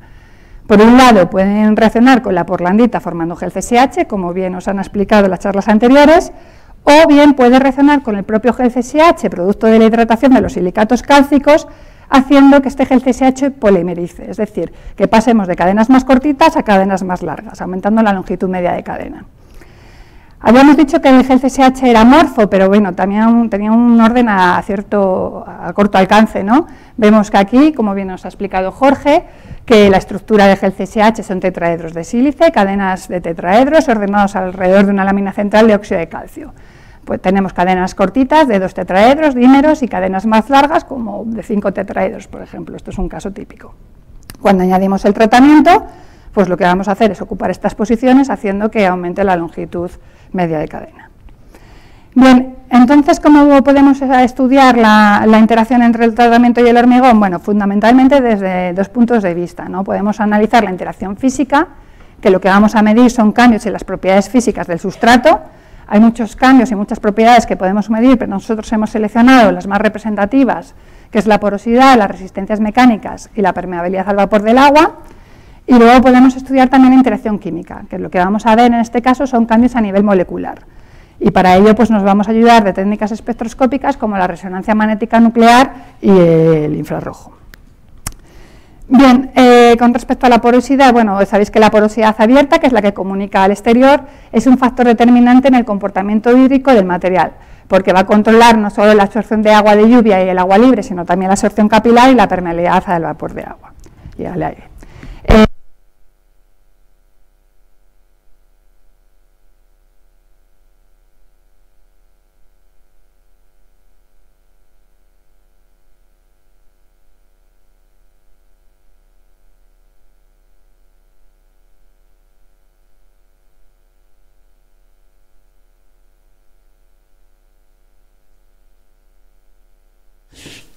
Puedo gritar más alto, pero los traductores no me van a escuchar. Los traductores no escuchan.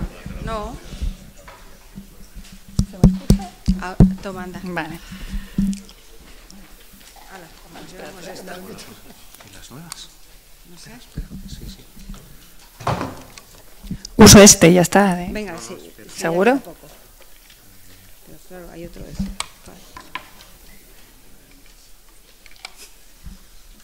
Bueno, estas cosas pasan, ¿eh? El primer workshop. ¿Qué vas a hacer?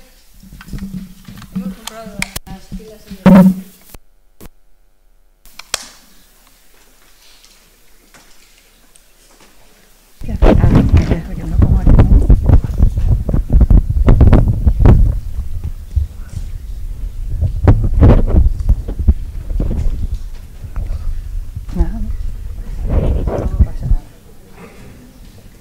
¿Ahora sí? Vale. Bueno, pues estaba diciendo que cuando aplicamos cualquier tipo de tratamiento a un sustrato, pues se van a originar una serie de cambios en la porosidad. Bueno, si recordamos eh, los poros que había en la pasta de cemento, pues tenemos eh, estos macroporos, los poros capilares, los poros del gel y por supuesto también la porosidad que se genera en las interfaces entre el árido y la pasta cementante. En líneas generales, cualquier tratamiento de tipo consolidante lo que va a hacer es reducir la porosidad y esto lleva implícito un aumento de las resistencias mecánicas. Aquí os he querido poner un, ejemplo de cómo se modifican estas propiedades. en gris es un mortero sano, un mortero de, cemento, y en rojo es el mismo mortero después de un tratamiento de, de, un consolidante como es el TEOS. Lo primero que se observa es cómo se reduce la porosidad total. ¿no? Se observa que se reduce bastante de manera importante eh, eh, la proporción de macroporos, lo cual lleva implícito un aumento en las resistencias mecánicas, tanto a flexión como a compresión, y también se reduce bueno, pues el tamaño medio de poro y la microporosidad bueno, pues se mantiene más o menos igual, incluso se reduce ligeramente. Este es otro ejemplo en el que también es un mortero de cemento con otros tratamientos, aparte de un ortosilicato, pues eh, también añaden humo de sílice y, bueno, y otras otros productos y eh, se observa eh, el mismo comportamiento, ¿no? cómo se reduce la porosidad y cómo aumenta las resistencias mecánicas. Bien, eh, el otro factor a tener en cuenta en el estudio de la interacción física es la permeabilidad al vapor del agua. El problema de los tratamientos es que a veces pueden bloquear los poros, ¿no? no dejando que el material transpire. El bloqueo de poros eh, hace que, se, reduzca el transporte de gases, sobre todo el vapor de agua, entre el soporte y el exterior. Esto hace que el, agua condense dentro del soporte y hace que incluso pues, que la pieza se deteriore eh, más fácilmente. Es por tanto muy importante determinar el coeficiente de permeabilidad al vapor de agua. En este caso, bueno, pues he puesto otra tabla en el que se pone cuál sería el coeficiente de permeabilidad al vapor de agua de un mortero de cemento que es bajito mm, en comparación con otros soportes, como puede ser la arenisca, pero bueno, es más o menos de la misma magnitud que el de otros, como el mármol, y bueno, que se observa también de, manera casi general, pues que después de estos tratamientos se reduce este valor de permeabilidad.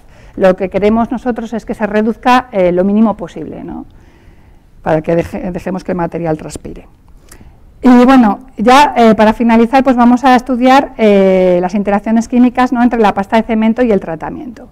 Eh, ¿Qué vamos a ver con esto? Pues vamos a ver cambios en la estructura de gel TSH, podemos detectar la formación de nuevos geles y podemos detectar también la alteración de fases existentes. Para ello, bueno, vamos a explicar la técnica de la resonancia magnética nuclear y en concreto del núcleo 29 de silicio. Volvemos con nuestro amigo el gel CSH, la estructura en cadenas, alrededor de una lámina central de óxido de calcio. Entonces, ¿qué nos dice? ¿Qué información nos aporta esta técnica? Bueno, pues nos dice el tipo de tetraedro de sílice que tenemos y la posición en que se encuentra la red, es decir, cómo está conectado con la red. Aquí os muestro un ejemplo de cuál sería el espectro de resonancia magnética nuclear de 29 silicio de un gel CSH típico, ¿no? donde vemos fundamentalmente dos señales, la señal de menos 79 y la señal de menos 85. Bien, pues en función de dónde aparezcan estas señales, en función del desplazamiento químico, podemos diferenciar qué tipo de tetraedro tenemos. Así, la señal de menos 79 correspondería a tetraedros de sílice dímeros, es decir, un tetraedro junto con otro tetraedro, o tetraedro de sílice en posición fin de cadena. Eh, mientras que la señal de menos 85 pues, correspondería a tetraedros de sílice en posición media de cadena. Bien, eh, aquí os he puesto otro ejemplo eh, en el cual vamos a estudiar cómo se modifica eh, estos espectros de resonancia magnética nuclear eh, tras mezclar el TEOS con la porlandita para comprobar si realmente estamos produciendo más que CSH. En la parte de arriba, el espectro negro corresponde con el TEOS polimerizado, que como podéis ver también tiene dos señales, pero muy desplazadas a valores mucho más negativos que las que aparecía el gel CSH. Bien, pues de acuerdo con estas posiciones corresponderían a tetraedros de sílice Q3 y Q4, es decir, más polimerizados. ¿Y qué pasa cuando mezclamos el TEOS con la porlandita? Bueno, pues se ve cómo estas señales disminuyen su intensidad y aparece esta otra nueva señal a menos 85 que nos confirma la, eh, presencia de, este gel CSH. Bien, aquí está el último ejemplo que os quería poner. Este es una pasta de cemento hidratada, ¿no? También de nuevo tenemos eh, las mismas señales, la de menos 79 y menos 85. O sea, esto quiere decir que en este tipo de geles la, cantidad de Q1 es mucho mayor que la cantidad de Q2, sería una estructura de este tipo, ¿no? Tenemos Q1, Q1, Q1, Q2, Q2, Q2, Q2, Q1, Q1, muchos más Q1. ¿Qué pasa cuando añadimos alteos? Pues vemos cómo el espectro cambia. Estas señales aparecen invertidas. La señal de menos 85 crece y la de menos 79 disminuye, lo cual quiere decir que tenemos estructuras de este tipo. Tenemos mucho más tetraedros de silicio en posición Q2 que Q1. O sea, otra indicación de que el tratamiento está siendo efectivo. Bien, y para concluir, bueno, pues decir que se están en este proyecto desarrollando, como bien nos han contado anteriormente, y optimizando nuevos tratamientos específicos para el hormigón, eh, que estos productos pues, van a ser eh, polifuncionales, pueden ser de tipo hidrofugantes, repelentes al agua, consolidantes, anticorrosivos, eh, que, tienen, que van a interaccionar químicamente con el sustrato para producir geles CSH, lo cual va a ser muy beneficioso porque hemos dicho que este gel CSH es el principal responsable del comportamiento resistente y durable de nuestros sistemas y también puede fomentar la polimerización de estos geles CSH ya existentes, lo cual va a reforzar la pieza mecánicamente, va a hacer que disminuya la porosidad y disminuya la permeabilidad, que va a mejorar las propiedades físicas, eh, físico-químicas del sustrato, sin embargo tenemos eh, que, hacerlo de manera que alteremos eh, lo mínimo el material original, ¿no? el principio este de mínima intervención, y bueno, que vamos a recuperar las propiedades perdidas, consecuencias del, del, deterioro, y lo que nos va a dar una protección frente a la agresión del entorno. Y esto es todo lo que os quería contar. Perdona por... La...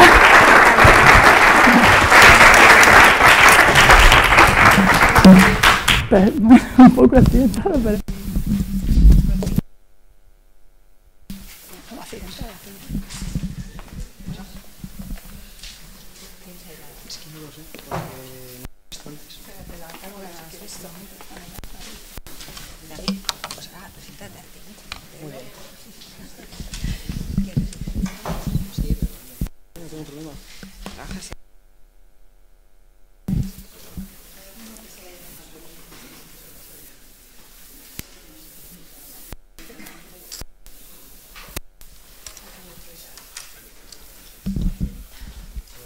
¿Alguien se ha dejado el pendrive aquí? Que tiene su presentación. Bueno, bajamos aquí. Dejamos aquí los pendrives. Bueno, eh, David López, eh, ¿tampoco te funciona? No puede ser.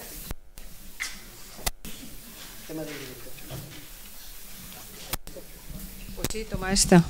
David López es ingeniero de caminos, trabaja en INES eh, y, como no me ha mandado su currículum, pues además de que hace estudios, eh, digamos, eh, sobre hormigones y explora muy bien los hormigones y que nos ha hecho unos trabajos aquí muy interesantes, no, no, no le puedo presentar, así es que se presenta él. Muy bien, buenas a todos, muchas gracias por estar aquí.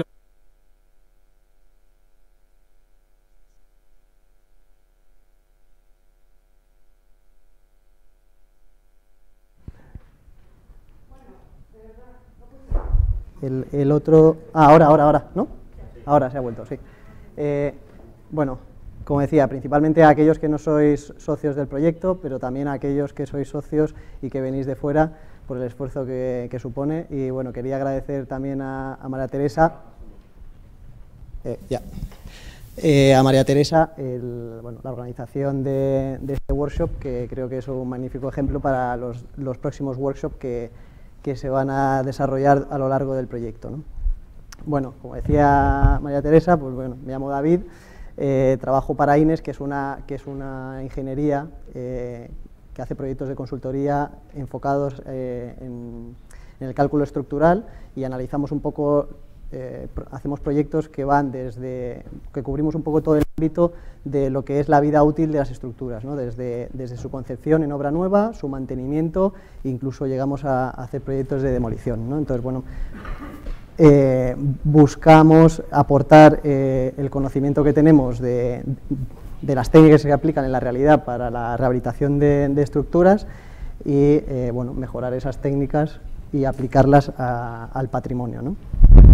Eh, bueno, quiero hacer una breve introducción para contextualizar un poco la, charla de la que voy a hablar. Como ponía antes, voy a hablar de lo que llamamos Choice eh, Sampling and In situ Validation, que viene a ser un poco la selección de los casos de estudio eh, reales que se van a utilizar para realizar una caracterización de los materiales y su futuro uso en la validación de los productos que se están desarrollando. Bueno, eh, como introducción y como decía, en la contextualización de, lo que voy a hablar, eh, básicamente, como se viene hablando desde esta mañana que presentaba María Jesús, nuestro líder en este proyecto, eh, el proyecto tiene fundamentalmente tres objetivos. El primero de ellos y más claro es el, desarrollo de, unos productos nuevos orientados a, paliar eh, problemas eh, relacionados con, las estructuras de hormigón cuyo origen viene de un problema durable. el segundo, por así decirlo, objetivo del proyecto sería hacer concienciación social acerca de la importancia de estas estructuras y luego por último pues llevar esos productos a la comercialización y que, realmente se usen y se apliquen en la realidad. Eh, quiero hacer aquí un, cómo veo yo el proyecto así en un super resumen. Eh, tenemos una parte teórica que, bueno, que, está basada en, en la síntesis de, nanomateriales y en la modelación, que gracias eh, Jorge por, tu explicación, por, por acercarnos a los no iniciados eh, un poco más a, lo que hacéis. estoy ya bastante más cerca de entenderlo. En, esa, en, esa, parte teórica se, desarrolla de forma teórica lo que es eh, el producto y las propiedades que se buscan.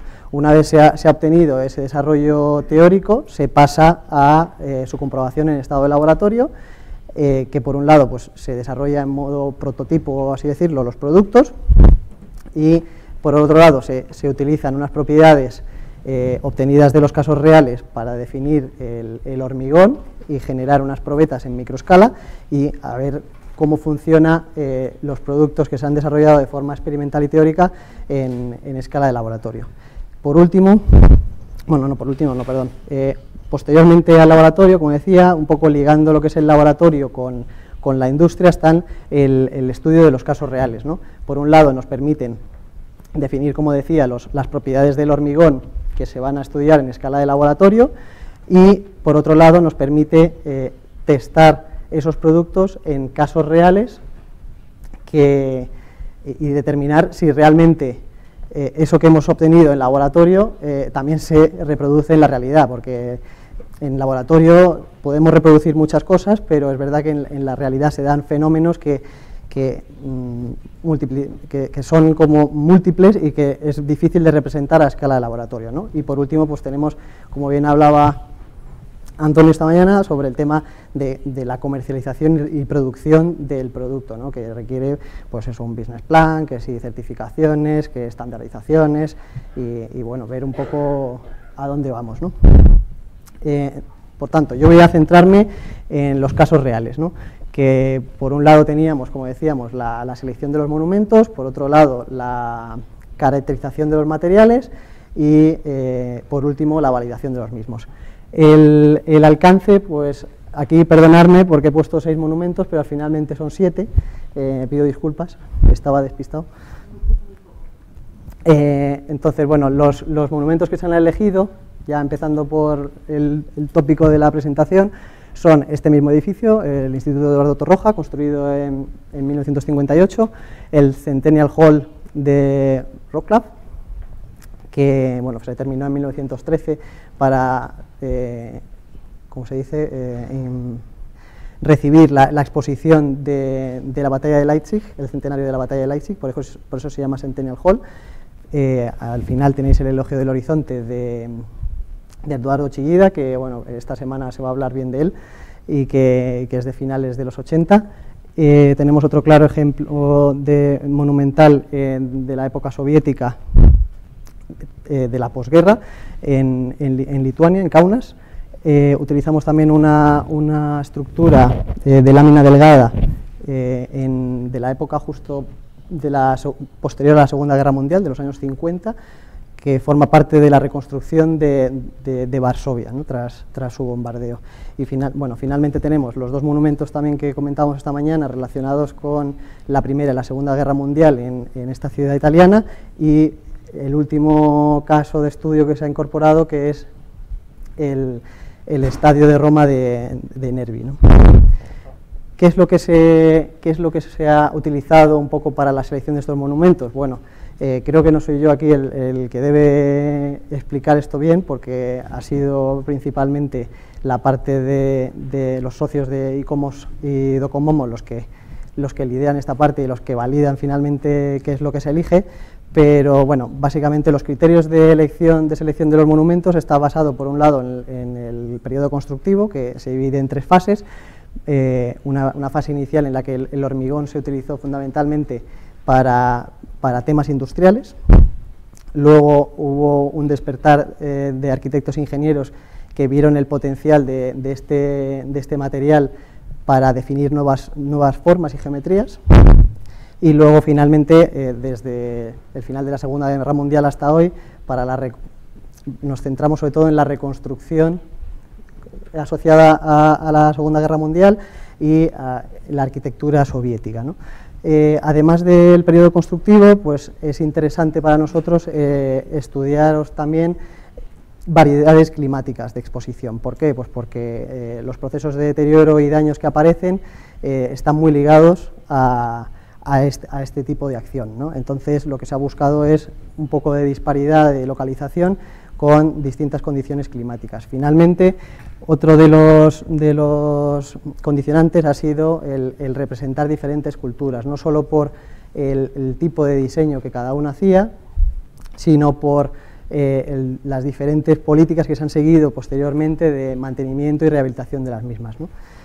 Eh, como sabemos que no son todos los casos, pues a lo mejor idóneos para representar eh, el, patrimonio del siglo XX de, de hormigón, Docomomo y Comos están haciendo una lista de, los 20 monumentos más representativos del siglo XX en, estructura de hormigón.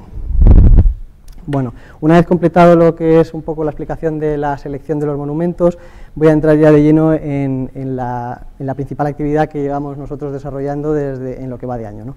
Eh, que es el sampling o caracterización y determinación de los procesos de deterioro. ¿Qué es lo que hacemos y por qué? Pues hacemos una caracterización, es decir, definimos las propiedades de los del, hormigón principalmente, a su vez eh, identificamos cuáles son los procesos de deterioro que, que se están dando en los distintos monumentos de cara a dar esos resultados a las personas del laboratorio que van a generar las probetas y los mock-up samples eh, para testar los productos. ¿Cómo hacemos eh, estos estudios de caracterización e identificación de, los procesos de deterioro? Pues hacemos un estudio histórico, estudios climáticos, eh, em, mapas de daños, estudios no destructivos, estudios destructivos que luego son analizados en laboratorio. ¿Y, dónde los hemos localizado? Pues, como decía, en los seis monumentos elegidos, pero bueno, ahora mismo tenemos uno extra. Como se ha hecho un poco lo mismo en todos los monumentos, he querido escoger este, que es uno de los dos que, nuestra empresa pues, ha estudiado, como, ejemplo para, explicaros un poco qué es lo que hemos hecho de, forma práctica.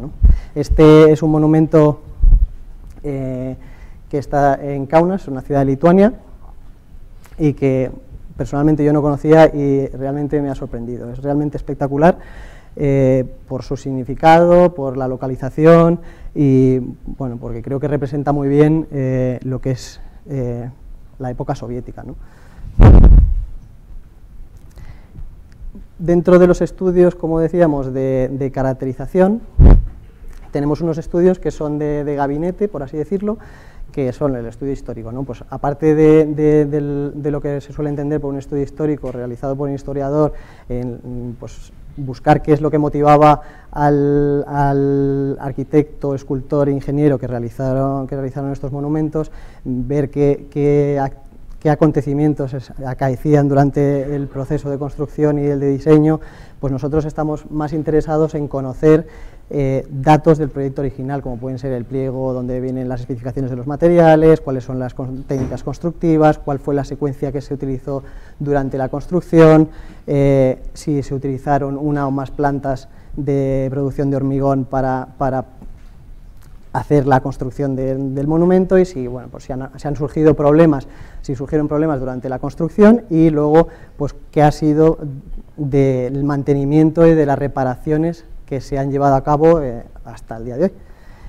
Además, pues bueno, como decía, pues ha hecho un estudio climático de, viento, enfocado principalmente en intensidad y orientaciones del viento, eh, de lluvia, para ver temas de humedades, eh, bueno, trayectoria y horas de sol, temperatura, que tienen relación con los procesos durables que queremos estudiar. Quitando esos estudios de gabinete, luego pues inevitablemente la caracterización lleva una campaña de campo. ¿no? Dentro de la campaña de campo, bueno, pues voy a comentar, empiezo por, lo primero que se hizo fue una definición geométrica del monumento, no contábamos con planos originales y se llevó a cabo un levantamiento geométrico de, la estructura. ¿no?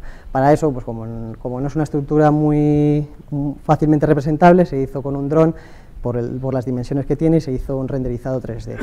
¿Por qué es importante para nosotros la definición geométrica? Porque nos ayuda a representar los resultados y, a ver más fácilmente las conclusiones. Por ejemplo, en el caso del mapa de daños, pues nos permite localizar dónde están los, diferentes tipos de daños que hemos clasificado como mecánicos, durables y antrópicos y eh, una vez los tenemos localizados, pues es más fácil ver dónde vamos a aplicar los productos, cuáles son los procesos de deterioro en función de los datos de clima, etcétera. Luego, eh, aparte de, esta inspección técnica con levantamiento de daños y, la geometría, se han realizado unos, estudios de caracterización con, ensayos no destructivos y otros ensayos destructivos. ¿Qué es lo que buscábamos con esto? Pues bueno, por un lado, ver las diferentes propiedades de los materiales e identificar por ejemplo, eh, si había variaciones eh, con, con, la diferente orientación, eh, si por la secuencia constructiva que, tenía, que, hemos podido observar del monumento, pues se ha variado las propiedades del hormigón, o simplemente pues, que si, hemos detectado algunas zonas en las que hay una, serie de concentración de daños que no hemos sido capaces de explicar, entender mejor por qué ocurren estos problemas. ¿no? Eh, en relación con ensayos no destructivos, bueno, mencionar simplemente que hemos, hemos, hecho el ensayo del martillo Smith, que nos sirve para correlacionar el ensayo de la resistencia a compresión, luego hemos hecho medidas de georradar eh, para saber el, el, recubrimiento de hormigón que, tenemos para las armaduras, que va orientado pues, a, saber cuán de probable es que, tengamos un problema de corrosión de las armaduras. ¿no? Además, pues han hecho eh, fotografías termográficas eh, en aras de, bueno, pues primero, eh, obtener patrones generales de, humedad, si, si, veis en la primera imagen, esto es un puente, aquí. Bueno, si, si, podéis fijaros en esta imagen, pues se ve que está un poco más frío en esta parte, que a pesar de ser más, de tener más masa que la parte de arriba, pues está, más frío. Y pues podría ser que tuviese un problema de, capilaridad ahí, ¿no? Entonces, bueno, pues eso es uno de los patrón general que se ha podido observar y que luego pues se, se comprobaba mediante medidas puntuales de, humedad. Eh, ¿Para qué sirve también la termografía? Pues para detectar eh, problemas o reparaciones previas que se han hecho que no son visibles, pero que, bueno, pues que con esta técnica salen a la luz y, te dan una idea de los problemas que ha tenido la estructura. Luego también nos ha servido, en este caso no se ve muy bien, pero eh, resalta eh, juntas constructivas, que son útiles pues, para saber la secuencia que se ha seguido durante la construcción. Eh, bueno, no sé si voy a extenderme mucho, pero he traído un pequeño vídeo en el que, bueno, para que veáis un poco qué aspecto tiene, eh, ahí se puede ver una grieta y la diferencia de temperatura entre la base y la parte superior. Cuando la base eh, es más, más, más masiva y la parte de arriba menos y tiene más temperatura arriba que abajo, lo cual no parece lógico. Eh, como decía, pues se ha utilizado medidores de humedad para contrastar esto, si era de verdad o había diferencias de humedad o o es una interpretación errónea de, la, termografía.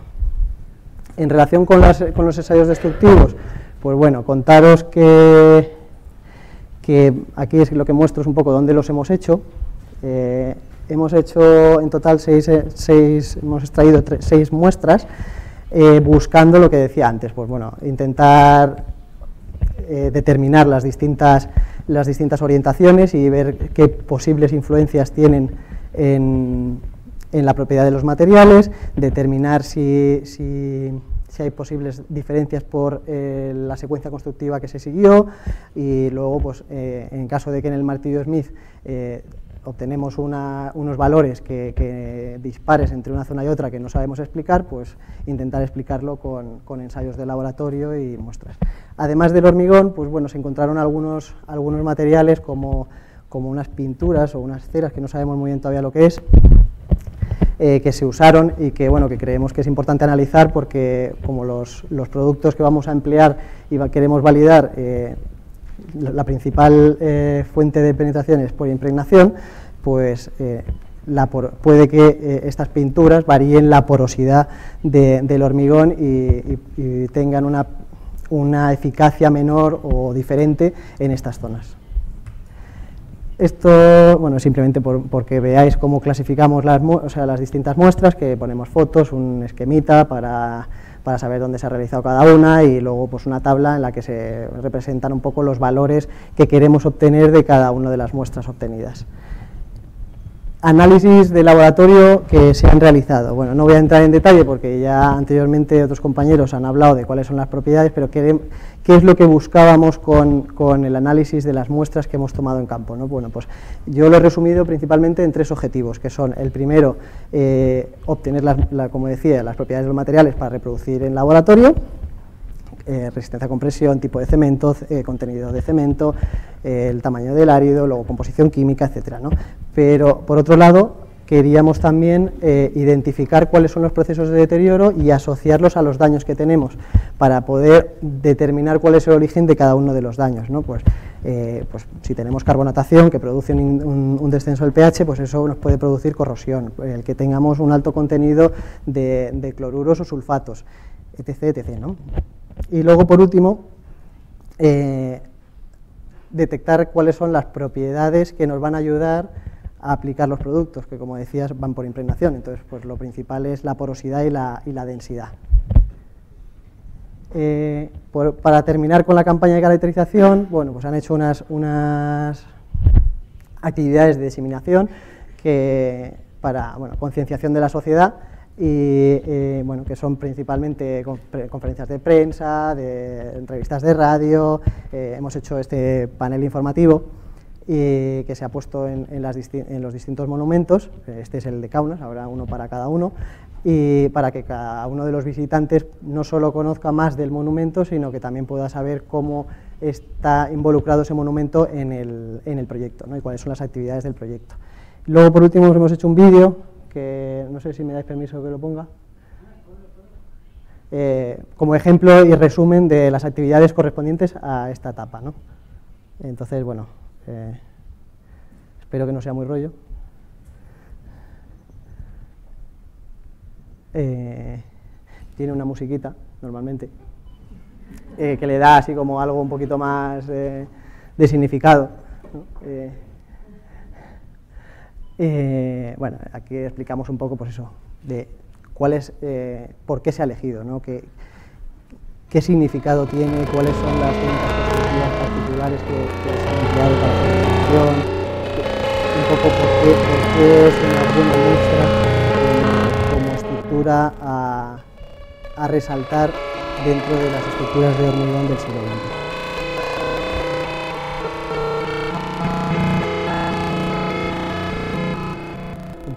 Cuña publicitaria. Eh, esto es la simulación que se ha hecho 3D, que se ha hecho en base a unas fotografías que se han tomado con un dron. Eh, después, del, del monumento para el levantamiento de todos los daños que tenía y los ensayos. Eh, interesante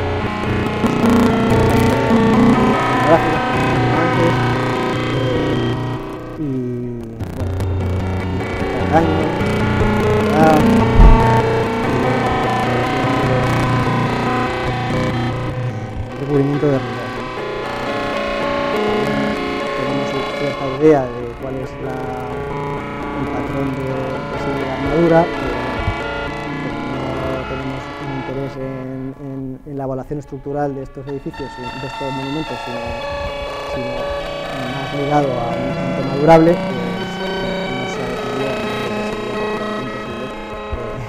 poder llegar a definirla completamente. Eh, de, actividades pendientes relacionadas con este sampling, algunos eh, ensayos de laboratorio y algunas cosas más que, estamos en ello y que bueno, finalizará eh, esta campaña para todos, los, para todos los monumentos a final de este año. Bueno, gracias por soportar esto. no, no, no he terminado, no he terminado, perdón, perdón. No, no, no, no, os libráis todavía. Eh, me falta la última parte que es, eh, una vez eh, terminemos con la campaña de, caracterización y una vez los magos de la, de la modelización y del laboratorio terminen su parte también, podremos empezar a realizar la validación de estos productos en la realidad, ¿no? sobre estos monumentos.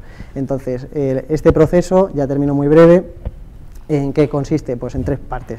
Seleccionar cuál es el, producto que queremos aplicar en cada caso, eh, llevar una monitorización del mismo para ver si realmente está dando los resultados que esperábamos y finalmente decidir si lo validamos para ese caso o no. Entonces, bueno, para la elección del, del producto tenemos la composición química y mecánica del, hormigón, tenemos los daños localizados, tenemos los procesos de deterioro identificados que nos permiten ver eh, cuál es el origen de los daños. Y luego tenemos las condiciones de contorno que llamo yo, que fundamentalmente son las condiciones climáticas y con todo esto pues podemos parece sensato eh, escoger bien el producto que queremos aplicar y testar sobre nuestro monumento. Una vez lo hayamos aplicado, como digo, pues se hace la monitorización del mismo, que se va a hacer durante, durante ocho meses, en los que se va a ir midiendo pues, las mismas variables que hemos medido ahora para la caracterización y se va a ver si realmente ha variado esas propiedades o no.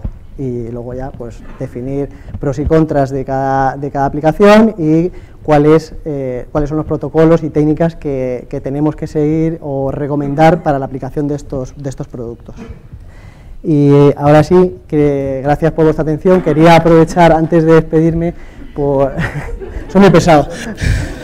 Eh, para...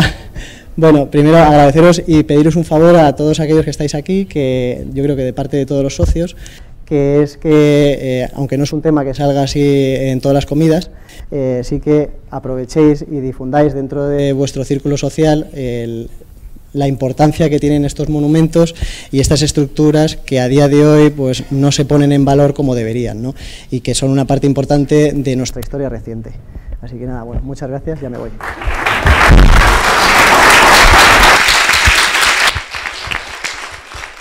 Bueno, vamos absolutamente mal como estaba previsto. Los científicos siempre nos pasamos de, tiempo. Entonces, vamos a hacer un breve coloquio. Por favor, eh, Noni. ¿Dónde está Noni? Ah, Noni. Inés. Jorge. Vamos a hacer un breve coloquio a ver si... Y tú también, claro. Si estáis todos ahí colocados.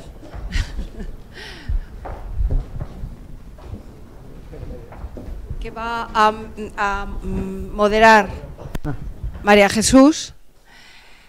Vamos, un cuarto de hora de, coloquio porque es que vamos fatal de tiempo. Susana está ahí esperando, etcétera.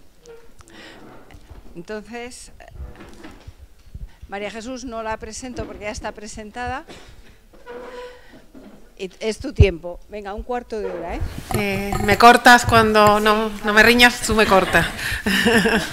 Bien, bueno, pues primero agradecer a todos nuestros socios del proyecto por las, creo que, magníficas presentaciones que han realizado.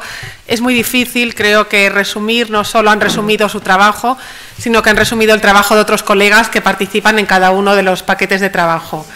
Eh, por orden de, actuación, eh, Noni Marabelaki representa al paquete de trabajo 2, en el que desarrollamos los materiales, los tratamientos.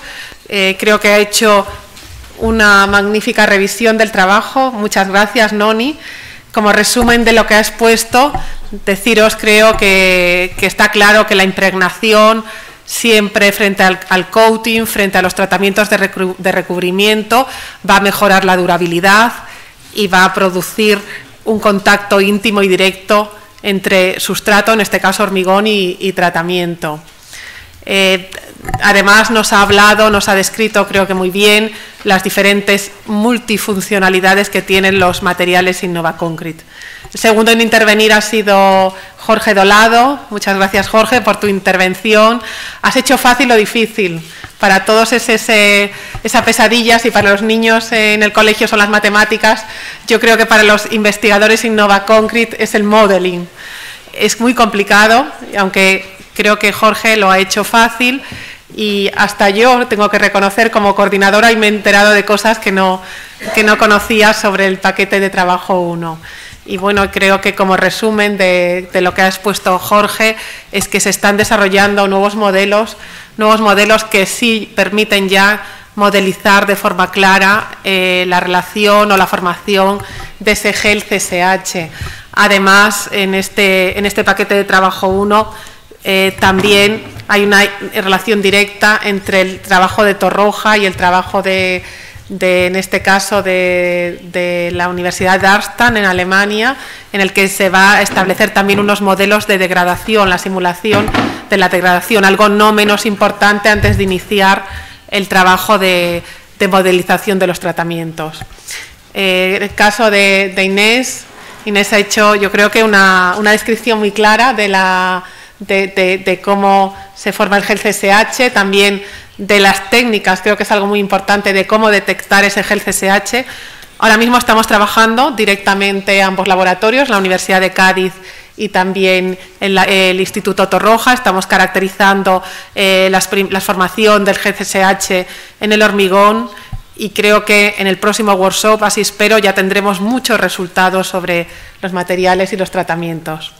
Bueno, y finalmente David, desde INES, nuestro socio de validación nos ha hecho también una presentación muy instructiva sobre cómo se eh, estudia in situ el monumento, la caracterización del monumento, que como bien ha dicho, eh, posteriormente servirá para preparar mock-ups, para preparar muestras en Mirtec, nuestro socio Mirtec lo hará en Grecia, eh, con las características especialmente diseñadas mm, de acuerdo con la caracterización de los siete casos de estudio. Esto servirá, será la última fase para la final optimización de los materiales. Bien, yo creo que ha habido una diversidad de presentaciones, todas desde el punto de vista científico, y estoy segura que la audiencia tiene ahora muchas o diversas preguntas que realizar a, los ponentes. Por favor, entonces abrimos el turno de preguntas. Eh, bien, sí. Si alguien, el micrófono Mm, Ita, por favor. Gracias. Sí, quería dirigirme concretamente a Jorge. Eh, en primer lugar, felicitarte, ¿eh? porque me ha gustado mucho tu presentación. Creo ser consciente de la dificultad del trabajo que haces. Dicho esto, tengo una pregunta concreta porque tengo una duda que me asalta de, eh, de lo que has explicado. ¿Utilizas la loisita en teoría, como semilla, digamos, para, eh, sí, para en el futuro poder generar geles cementantes. Este es el objetivo, digamos, ¿no? He creído entender. Mm, no exactamente. La, no exactamente. La, parte de la visita es otra línea, un work distinto y que nosotros... Ay, perdón. El uso de Aluisita no es la parte que va a haber una, no va a tener una conexión directa con las partes de simulación. digo que es una de las alternativas que se han barajado y que se baraja en el proyecto es el uso o bien de sols o de consolidantes basados más líquidos, que son las en formato TEOS con, con calcio, y otros que están basados en nanotubos parecidos al, cemento. Entonces, en la parte de simulación no vamos a utilizar esa parte del template. Eso me aclara. Porque claro, la luisita en realidad es un silicoaluminato. Silicoaluminato. Claro, entonces te iba a preguntar el aluminio dónde se queda por ahí porque no... Sí. Bien, pues nada, me ha quedado claro ya. Gracias. Gracias, muchas gracias por tu intervención. ¿Alguna otra pregunta, por favor? Tenemos abierto este turno de debate. Sí. Eh.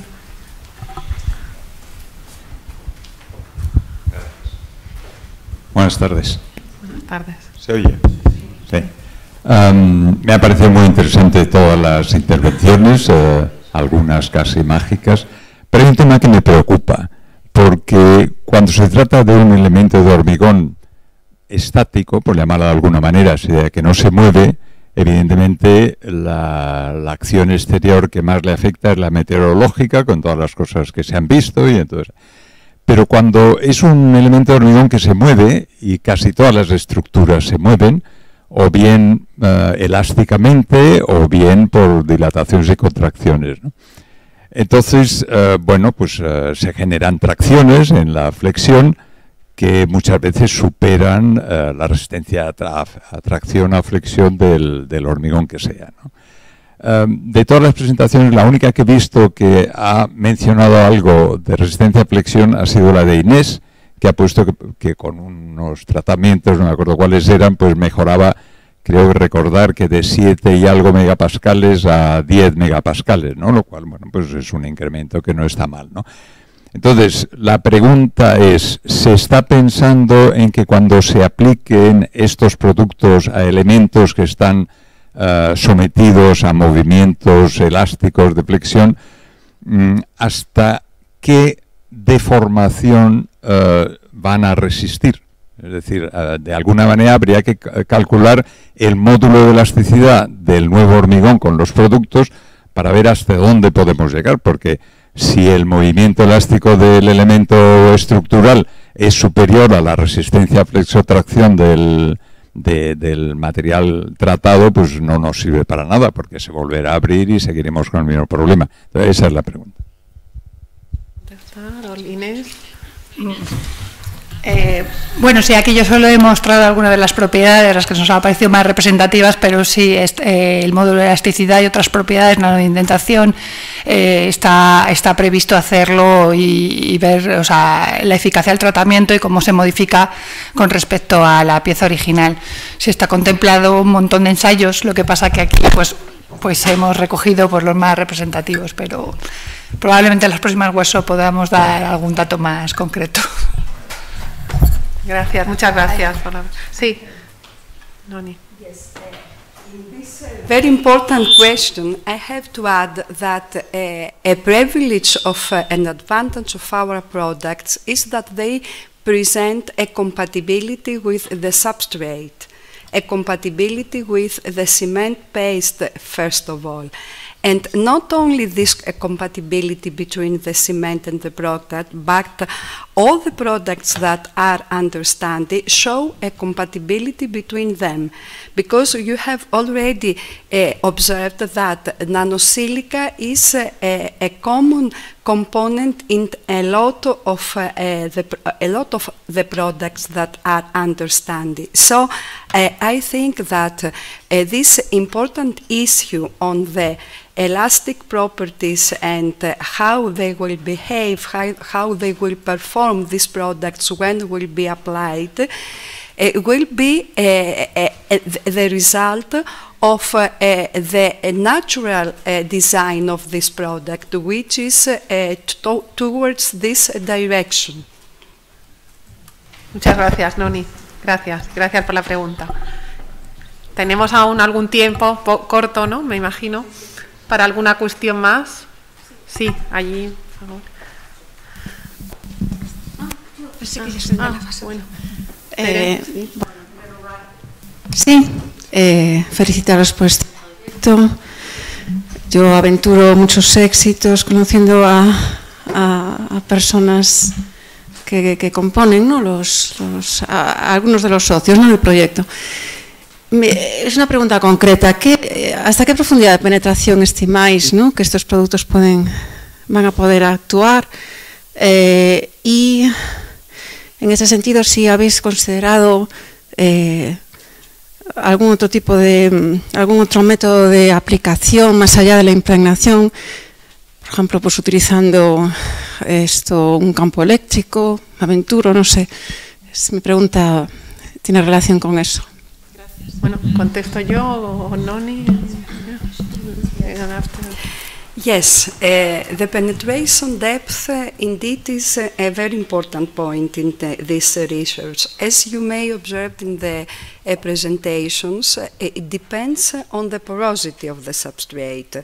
The lower the lower the porosity of the substrate, the lower is the penetration. We have seen that indeed there is an increase in the penetration depth upon uh, the increase of the porosity of the substrate. But uh, what we have to propose is how to identify this uh, penetration depth.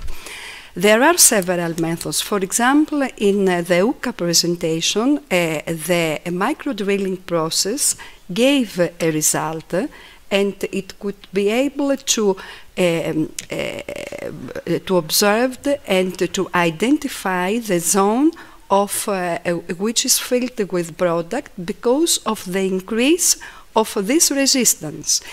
In the case of our products, because of the nanocalcium oxalate, uh, we can uh, uh, do experiments with the infrared spectroscopy and the powders that will be extracted in depth from the substrate and to monitor and to prove the penetration depth in such a way.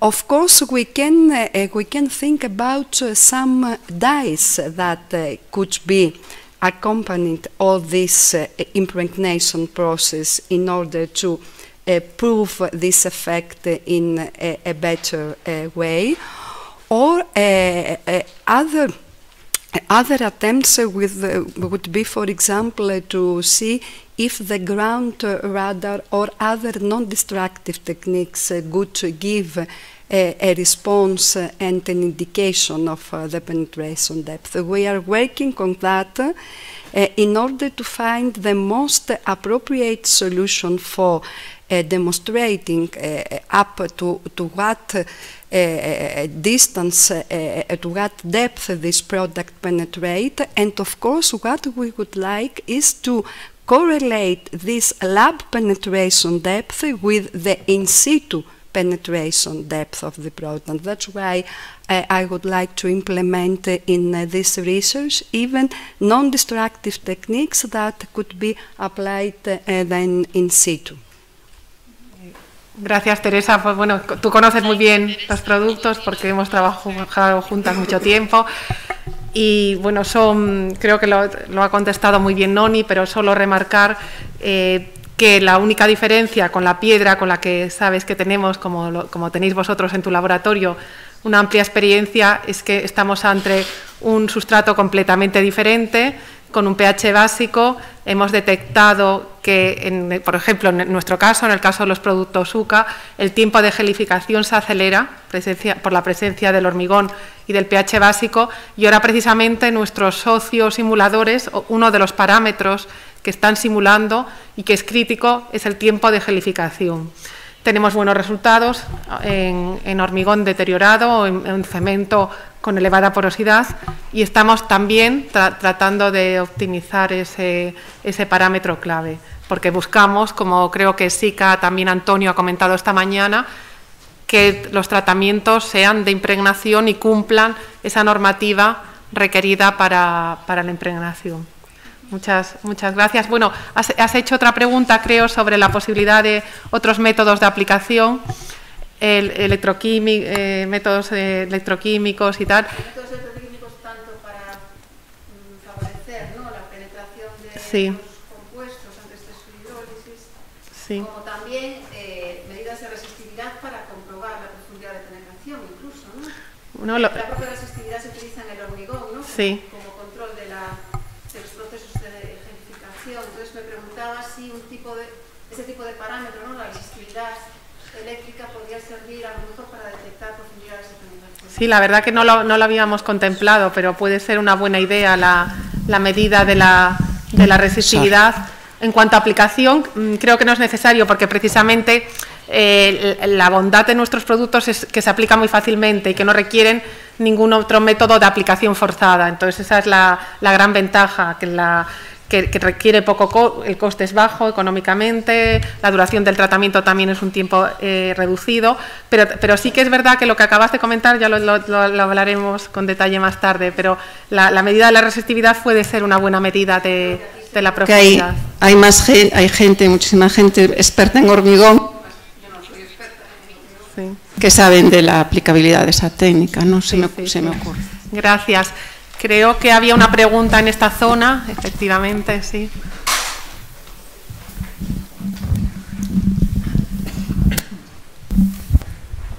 Sí, hola, buenas tardes. Ah, yo quería saber si habíais hecho algún tipo de estudio económico, más o menos de cuál sería el precio final del producto en el mercado. No sé si por metro cuadrado de hormigón o cómo, cómo sería. Eh, es una gran pregunta esa y además la economía siempre se acaba siendo lo más importante en la vida, desafortunadamente. No, ni yo no sé si tú tienes algún dato eh, de coste económico. Eh, yo, yo te puedo decir, no, no, en este, no en estos productos optimizados, nosotros llevamos mucho tiempo trabajando con este tipo de productos y que sí los hemos comercializado, pero para ot- otras aplicaciones, por ejemplo, todos conocéis Silestone, nosotros hemos hecho contratos con Silestone y, hay un hidrofugante que le he desarrollado en nuestro laboratorio que se está utilizando en, en Silestone. También hemos eh, eh, comercializado de forma muy, muy pequeña, pero de alguna manera consolidantes para piedra y los precios no son caros, están totalmente en la competitividad de otros productos que hay en el mercado. 5 euros, entre 5 o 10 euros eh, por- puede ser por litro de producto, es el, el valor que han tenido productos nuestros. Uf, es que eso ya va a depender de la porosidad del hormigón, claro, es, eso ya... Estaba bien, bueno, Sí. una imagen ¿no? que parecía que se echaba como si fuese un parche 7. Que tenía una ama de casa en su casa de una grieta y... Eh, bueno, hasta tal nivel no creo que pueda llegar del ama de casa en su casa, pero bueno, que, sí que el tratamiento es muy simple, es verdad, es muy sencillo, no es tóxico, no tiene disolventes orgánicos, con lo cual no necesitas protección. Sí, la verdad es que la aplicación es muy simple y bueno, aquí en, en, las- este audit- auditorio hay varias personas que han trabajado con nosotros con los productos y son muy, muy simples. Sí, va a intervenir Antonio de SICA. Sí, si me permites, María Jesús, Sí. contestando a estas dos preguntas o comentarios que ha habido, nosotros, que somos los responsables de esta explotación, eh, precisamente os he hablado esta mañana del plan, o sea, del eh, estudio de riesgos, y todo eso está eh, estudiado y planeado. Es decir, el- yo estoy con las uñas sacadas, ¿verdad?, para hacer que los productos, además de su función en la restauración de monumentos, tienen que cumplir una normativa. ¿eh? Cuando se sacan al mercado, estos productos, muchos de ellos están bajo normativa y esos tienen ensayos de penetración, cómo detectar esa penetración, etcétera, etcétera. Y estamos estudiando y trabajando en ese tema. Y en el tema de los precios, exactamente igual. Ya tenemos hecho un estudio de mercado, sabemos los consumos que hay eh, y, todo eso eh, se, está, se está haciendo. Lo que, lo que no hace nosotros, por ejemplo, cuando sacamos una tecnología nueva al mercado, no sacamos de lo que hemos hecho en el laboratorio y de repente la, red comercial dice, joder, pero si esto está prohibido aplicarlo, eh, no se puede aplicar, eh, eh, es corrosivo, es no, todo eso antes de que salga eh, hay unas, una serie de cortes en el desarrollo donde se irá viendo si el producto se puede aplicar con una eh, un spray, con una rodillo, con una eh, y si no, qué soluciones hay, o sea, todo eso eh, está dentro del estudio de riesgos del, del producto, del proyecto. Gracias, Antonio. Sí, yo creo que que en ese caso ha sido providencial a la hora de hacer el estudio de mercado y a la hora de hacer el estudio de riesgo. Tenemos allí una última pregunta, Ita, si podemos. La última.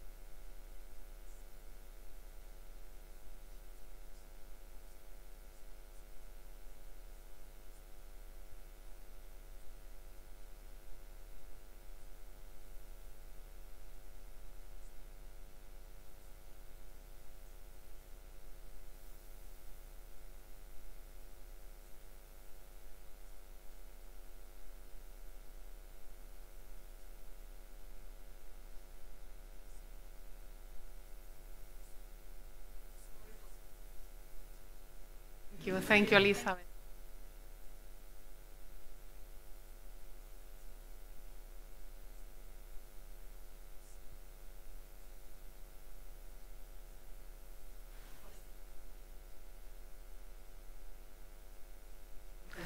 Thank you, thank you, Elizabeth.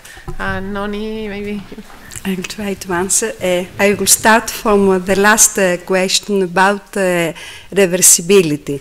Yes, reversibility is uh, a demand in the conservation field, but uh, I think that uh, uh, in uh, the last years and uh, with all the debates and the principles in the conservation, the term reversibility has been a little bit sub- substituted by the term compatibility and the possibility of the retreatment of the surface. So, what we would like to provide uh, uh, in the scientific field and in the conservation field are products with the possibility to provide this compatibility to the substrates and uh, of course, this compatibility, as I said before, derives from the design of these products and the raw materials that they have been introduced in the production uh, of um, uh, all uh, these uh, um,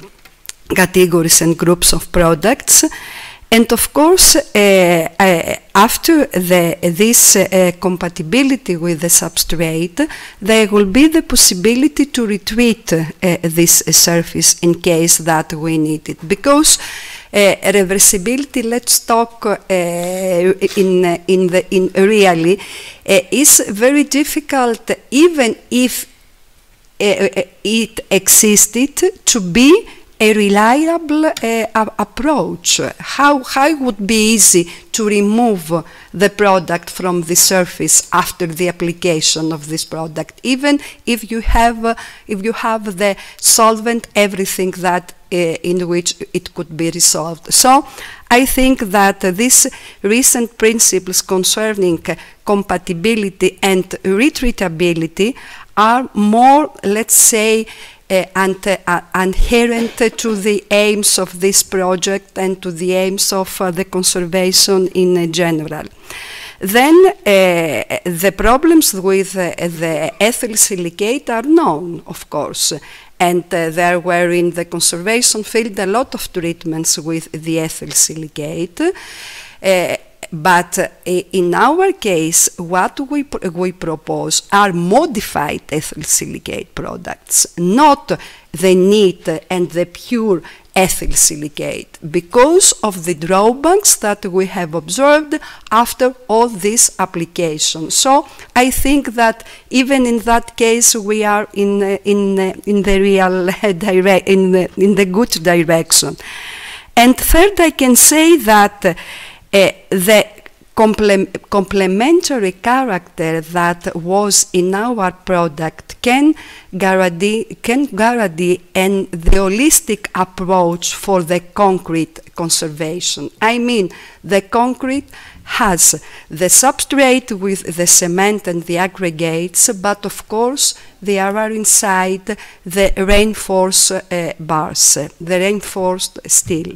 So, if we could combine uh, the products that we, would, that we propose in order to uh, succeed and to manage all these different decay situation and approach and, approaches that uh, intervene in the concrete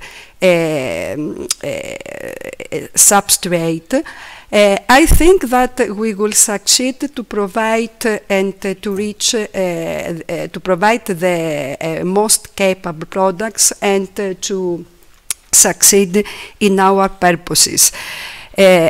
And into this direction, this combination with the anti-corrosive uh, uh, agents, with the, for example, the uh, nanotubes of uh, allocyte, uh, are into, uh, into this approach of the compatibility with the substrate. Up to now, uh, these uh, uh, anti-corrosive agents were applied through polymers, through other carriers. But I think that in this project, what is proposed is uh, more addressed into this compatibility between the natural components of the concrete and what, uh, uh, the, uh, um, what the combination of uh, all these products could be supplied uh, in uh, the substrate at the end. I don't know if I answered to your. Thank you. Okay, eh, yeah, it's finished and thank you. Oh, sorry. Eh, gracias, muchas gracias y terminamos el turno de debates porque María Teresa si no nos mata, entre otras cosas. sí, sí, sí, sí, sí.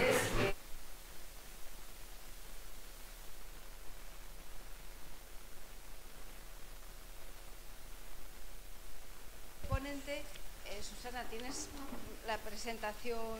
Ah.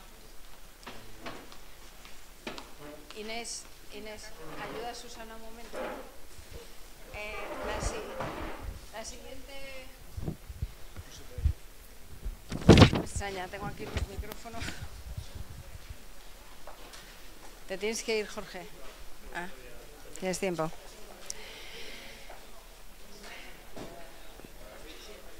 Bueno, ahora entramos en, eh, en otra etapa de estas presentaciones, que son los objetivos sociales y los primeros resultados en torno a ello.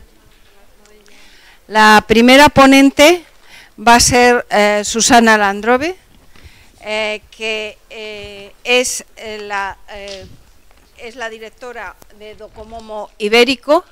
Docomomo es una fundación eh, que eh, fundamentalmente hasta ahora trabajaba en torno al movimiento moderno, pero con todo lo que están trabajando en este proyecto yo creo que tienen ya una amplitud mucho mayor.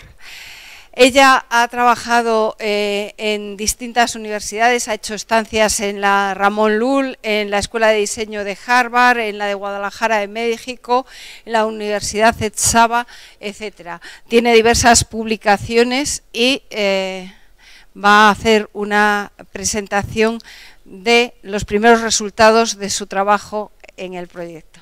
Muy bien. Gracias, Susana, y siento el retraso. No, no. He sido una moderadora pésima. Funci- funciona esto, ¿no? Eh, bueno, ahora vais a permitir hacer un salto mental eh, al otro extremo de este proyecto. ¿eh? Si hemos estado concentrados en los aspectos más científicos del proyecto de Innova, ahora nos vamos quizás a los menos científicos, pero espero que no por ello menos rigurosos. Eh, también es lo fascinante ¿no? de este proyecto y uno de los aspectos eh, más ambiciosos, ¿no? poder saltar de, de la escala de lo que se ha estado hablando esta tarde a- al trabajo que estamos haciendo nosotros.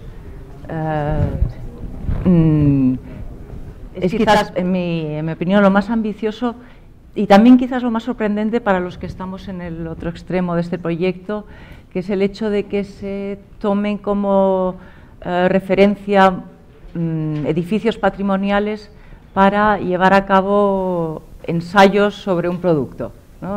Que quizás eso para nosotros resulta lo más sorprendente, pero también lo más ambicioso, porque si se logra obtener un- resultados y productos eh, que cumplan las exigencias en su aplicación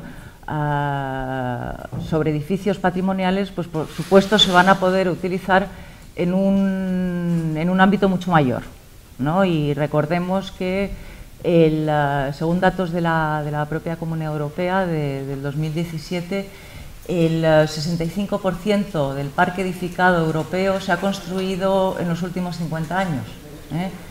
Y si queremos, eh, si nos remontamos a edificios construidos a partir del año 45, eh, estamos hablando de un 75% de toda la edificación que existe en Europa. Eh, ¿Cuánto de eso es hormigón? No os lo sé decir, pero seguramente Sica lo sabe perfectamente en sus estudios de mercado. Eh, pero, en fin, eh, es una gran parte. ¿eh? Yo antes de entrar en, eh, en la temática eh, en la cual estoy implicada, estamos implicados desde Docomomo Ibérico en este proyecto, quisiera resaltar algunas cuestiones generales sobre la- lo que implica la protección del patrimonio del siglo XX. Para entender un poco en dónde se sitúan esas dificultades. ¿no? Eh, yo creo que en primer lugar hay que recalcar que, este patrimonio del siglo XX al cual nos estamos enfrentando surge de, una firme creencia, ¿no? de una serie de personajes, arquitectos, ingenieros, eh, una firme creencia en unos nuevos materiales, ¿eh? en el- obviamente en el hormigón, pero también en el acero y en el cristal, y que surge eh, de una manera muy mm, con ciertas bases científicas, ¿no? pero de una manera eh, también intuitiva, ¿no? Eh, en creer en esos materiales y en aplicarlos sin saber muy bien cómo iban a resultar. No los habían ensayado prácticamente, pero esa creencia les lleva a utilizarlos a pesar de todo. Y también ahí está un poco la situación en la cual nos encontramos ahora, ¿no? que son eh, materiales pues, que no, no disfrutaban de ese saber hacer ¿no? de, los, eh, de otros materiales, pues como la piedra, la cerámica, que se habían empleado siempre en construcción. Mm, no me voy a extender en toda la temática que ha derivado de ello, porque justamente es todo lo que estáis abordando vosotros pues, desde el estudio de- del deterioro de ese hormigón. Pero también hay otras cuestiones ¿no? que, que cabe la pena resaltar. Cuando pensamos en hormigón, lo primero que nos viene a la cabeza, desde luego, eh, pues son ad- adjetivos como solidez, permanencia y resistencia. ¿eh? Eh, ahora, sin embargo, la arquitectura del siglo XX y su enfoque patrimonial demuestra que, a pesar de, de- esa primera sensación ¿no? que tiene uno respecto a estos materiales, ha resultado ser, desde el punto de vista patrimo- patrimonial, de una enorme fragilidad todo esto. Eh, ¿Por qué es así? ¿no? Eh, ¿Por qué nos encontramos con estos problemas? Pues por muchísimas cuestiones. ¿no? Por un lado, eh, porque ha sufrido tanto ¿no? esta arquitectura en, el momento que se empieza a considerar que tiene cierto valor y que merece la pena su salvaguarda. Por un lado, una muy difícil adaptación a la normativa actual. ¿eh? Eh, nos encontramos que los estándares de hoy en día, obviamente, pues son mucho más elevados ¿eh? de los que fueron en su día, cuando se construyeron estos edificios. Eh, toda la normativa aplicable respecto a aislamientos térmicos, eh, al ruido, accesibilidad, protección contra el fuego, pues claro, son más restrictivas eh, que de lo que fue en su día. ¿eh? ¿Y qué ocurre con los edificios de- patrimoniales del siglo XX? Pues que, que su apli- la aplicación de estas normativas implica un menoscabo de los valores de los edificios, en gran medida. ¿eh? Eh, suelen eh, implicar pues, adiciones de elementos que encajan difícilmente ¿no? con los edificios, pensar las rampas de accesibilidad, la superposición de nuevos servicios que no tenían, no tenían estos edificios, la pérdida de transparencia, ¿no? por ejemplo, en los, en los edificios de cristal, cambiar a edificios eh, como la Vanelle, que justamente es un caso ¿no? en Rotterdam de todo lo contrario, ¿no? de buscar el material adecuado porque se entendió perfectamente cuál era la calidad de- patrimonial de ese edificio, a ese edificio haberle cambiado el tipo de cristal lo hubiese hundido. Eh, o en el caso del hormigón, pues pasa muchas veces por perder las texturas originales, eh, el aspecto de ese hormigón que se recubre, se pinta, eh, porque no, no se sabe cómo proteger, cómo aislar sin hacerlo de otra manera. ¿no? O no se quiere ¿eh? también. En otros casos, eh, las dificultades patrimoniales vienen, eh, por cierto, vamos a poner una imagen. Eh, os voy a ir enseñando imágenes, no todas ellas, pero la mayoría son de edificios que estamos planteando para esta selección de, de los 100 edificios. Eh, en otro- algunos casos nos encontramos con edificios que se han vuelto obsoletos. A menudo, pues las necesidades de los programas a los que daban cabida estos edificios han cambiado de una forma muy drástica ¿eh? y que ah, difícilmente ha encontrado acomodo en aquellos edificios para, que fueron eh, edificados para ellas, ¿no? Eso pasa muchísimo en complejos industriales, que están afectados además por otras temáticas, como es la deslocalización de las actividades eh, que albergaban. Eh, nos encontramos, eh, no os voy a ir, tenéis indicados qué edificios son, en algún caso sí que hay alguna referencia, pero por acortar. Eh, por ejemplo, es el caso ¿no? en los temas industriales de, Avilés, ¿eh? una empresa de- de- nacional del acero eh, en Sidesa que se crea en España y que cuando desaparecen las actividades allí, pues nos encontramos con unos eh, fabulosos elementos, estupendos, pero gigantescos. Estas naves tienen 900 metros de largo, vacías. ¿No? y, que es muy, y que es difícil encontrarles eh, una nueva utilidad.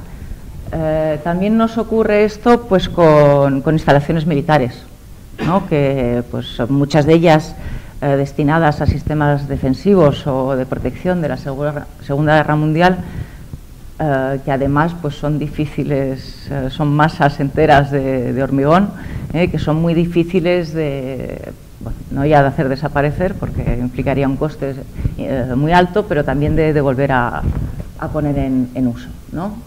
Eh, otros casos de elementos de los eh, sun mirrors, que están en los espejos de, para el sonido, para dar- revertir ondas de- magnéticas, que se han construido, aquí tenemos ejemplos pues, en, en Folkestone, en el Reino Unido, o, en Malta, que son piezas paisajísticas fantásticas, ¿no? pero que han perdido completamente eh, su actualidad. ¿eh?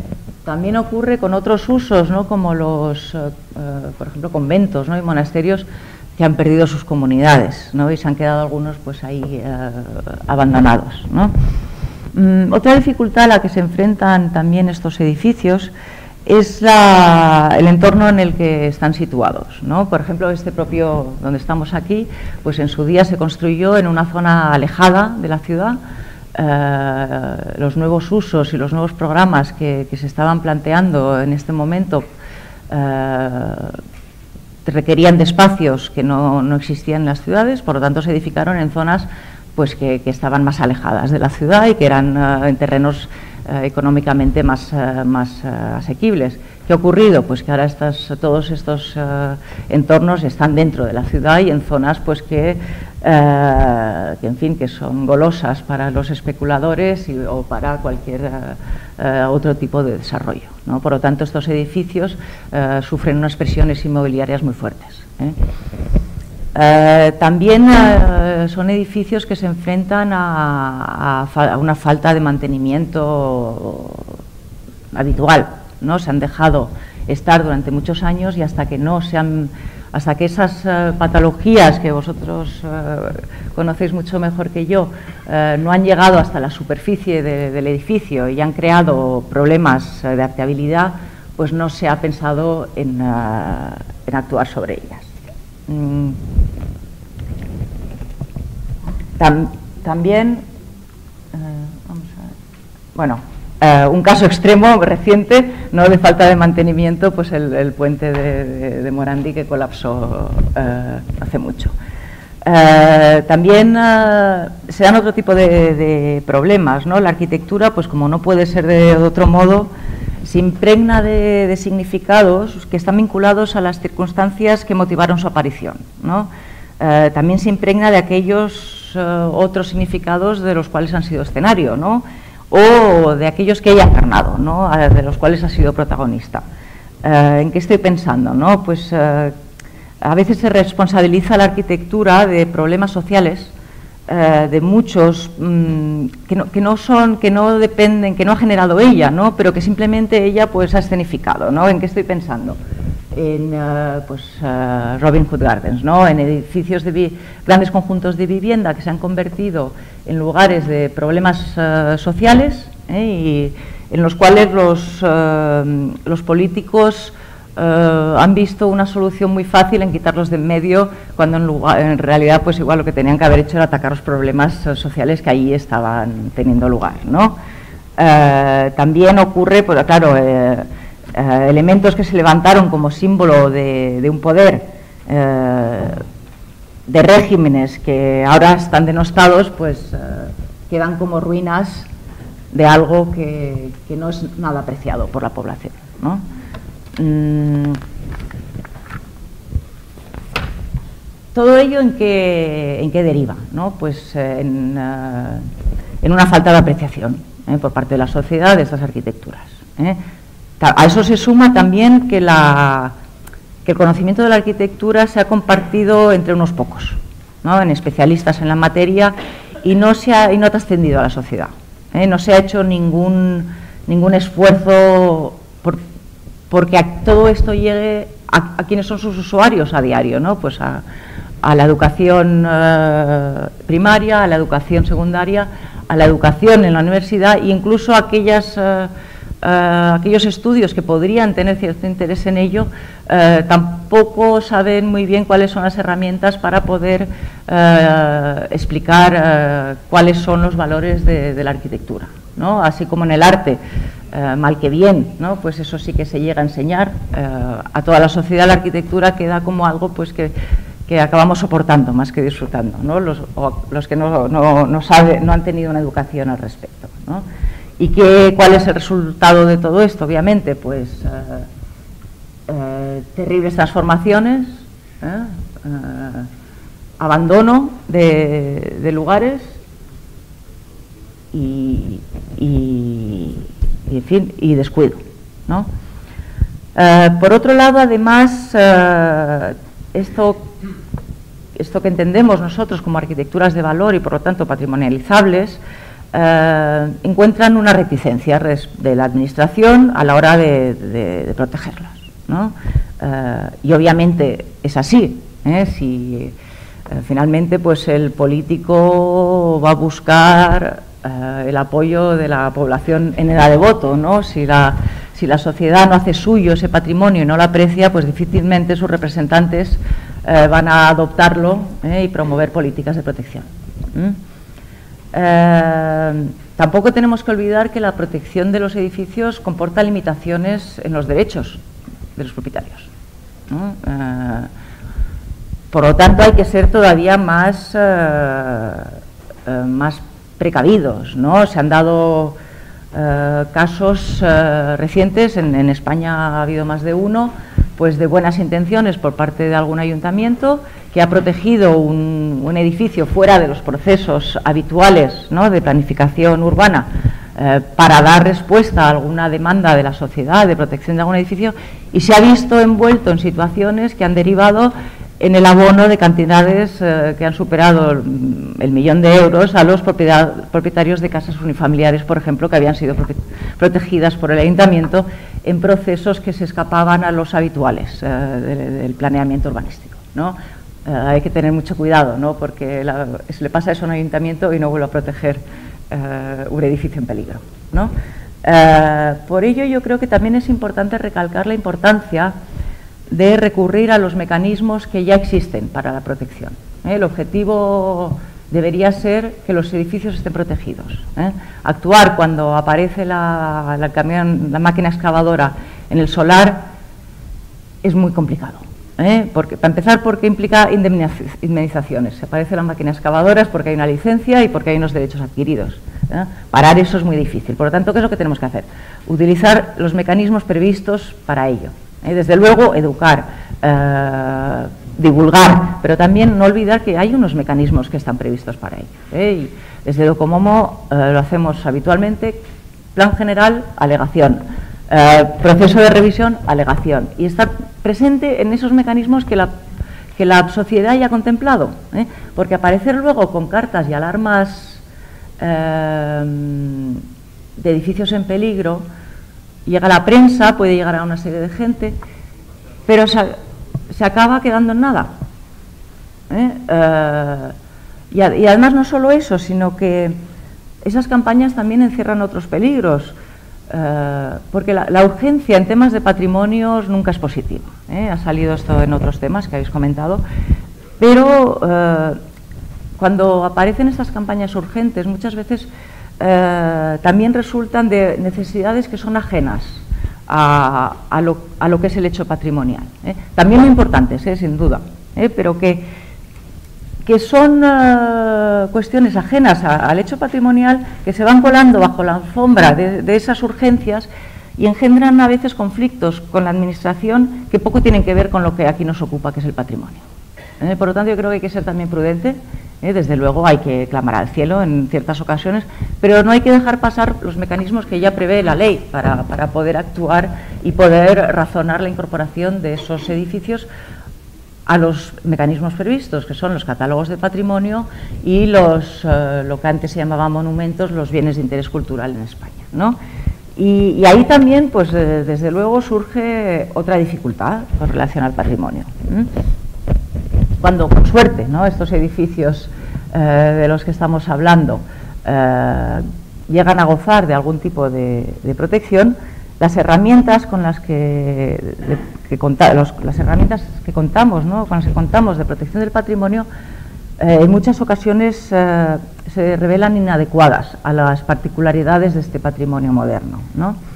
En general, en los países europeos se suele distinguir entre dos tipos de protección, ¿eh? aquellos elementos, al margen de la, del Estado, del patrimonio de la humanidad, pero desde los estados eh, suele, se suele distinguir entre dos tipos de protecciones. ¿no? Aquellos edificios eh, muy singulares, ¿eh? se entienden como el monumento, pero entonces el tipo de protección que se les aplica es un tipo de protección que, que los considera como obras de arte.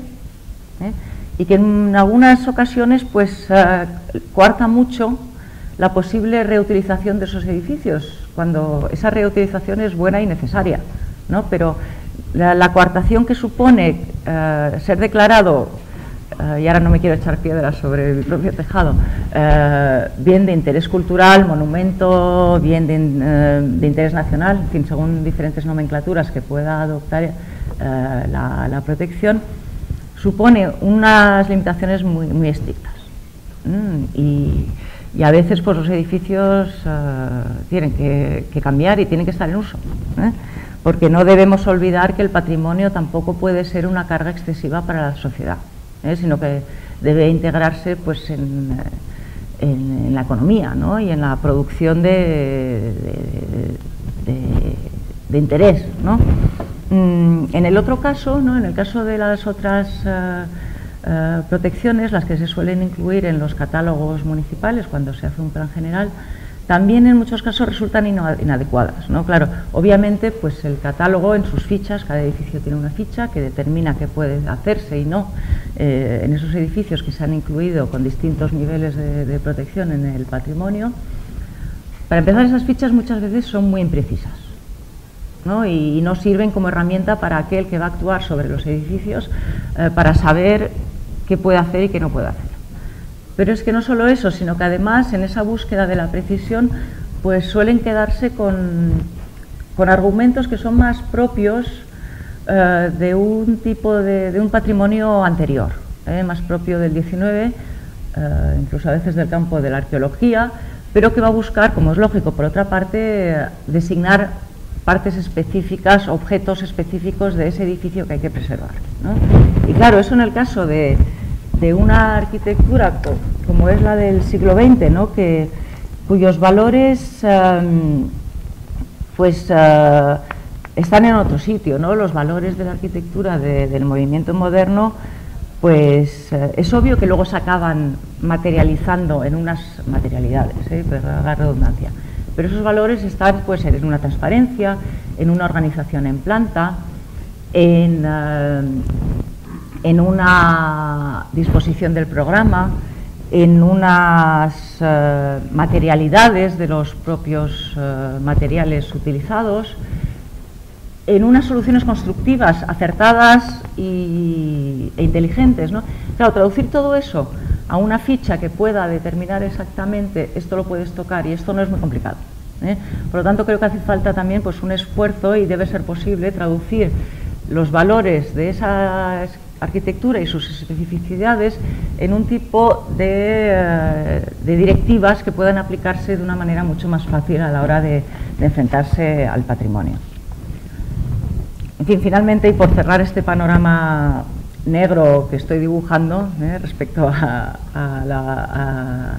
los valores patrimoniales de la arquitectura del siglo XX, eh, y antes de comentar a lo que debería estar comentando, que también no podemos dejar de hablar eh, y comentar eh, lo más importante, ¿no? que son temas ya que mm, están vinculados pues, a, la, a la reutilización de los edificios. ¿no? Esa reutilización pues, tiene que ser eh, mm, posible mm, por cuestiones de sostenibilidad. ¿no? ¿Qué quiere decir sostenibilidad en la conservación patrimonial? Pues tiene que ser además el, resultado de políticas que estén articuladas y que contemplen todos los diferentes agentes que en ellas inciden, ¿no? la educación, la normativa, las herramientas de protección, las técnicas de conservación, y, también las estrategias productivas, ¿no? puesto que, ese patrimonio debe integrarse en, eh, la economía de cada lugar. ¿eh? Ejemplos aquí pues de reutilizaciones, tenéis siempre a la izquierda imágenes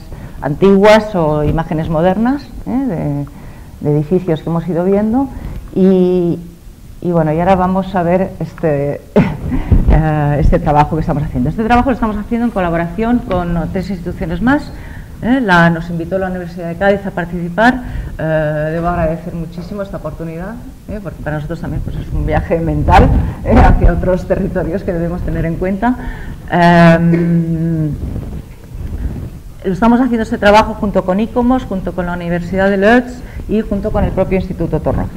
Eh, el problema con el cual nos enfrentábamos eh, nosotros pues también era tremendo, ¿no? porque destacar una serie de edificios, de miles de edificios que existen, por haceros una idea, en España tenemos localizados 1.700 edificios, no todos ellos de hormigón, de interés patrimonial.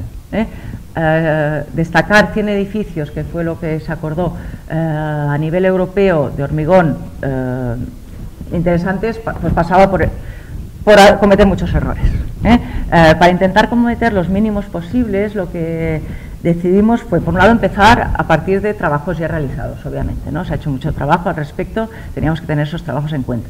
Repasar bibliografía, repasar repositorios de datos, eh, repasar trabajos de campo de los propios grupos de trabajo de Docomomo Internacional que ya han trabajado los temas, empezar con un ámbito muy grande irlo reduciendo. ¿eh? Ahí se sumaron los inputs de, ICOMOS a través de sus representantes en, los diferentes territorios y de su conocimiento del lugar y reunimos una cantidad ingente de edificios que fuimos destilando. ¿eh? Eh, ¿Qué argumentos elegimos para destilarlos? eh, y para ir tachando edificios, cosa que nos satisfacía enormemente, para ir reduciendo esa lista, ¿no? Pues por un lado, pues tipologías, ¿no? Bueno, aquí vais a ir viendo, vamos, nos quedamos en las tipologías. Eh, un estudio tipológico de todas aquellas tipologías que habían tenido que ver con el hormigón, obviamente unas mucho más importantes que otras, eh, que estuviesen representadas. Em, los diferentes periodos de realización de hormigón que se han comentado aquí.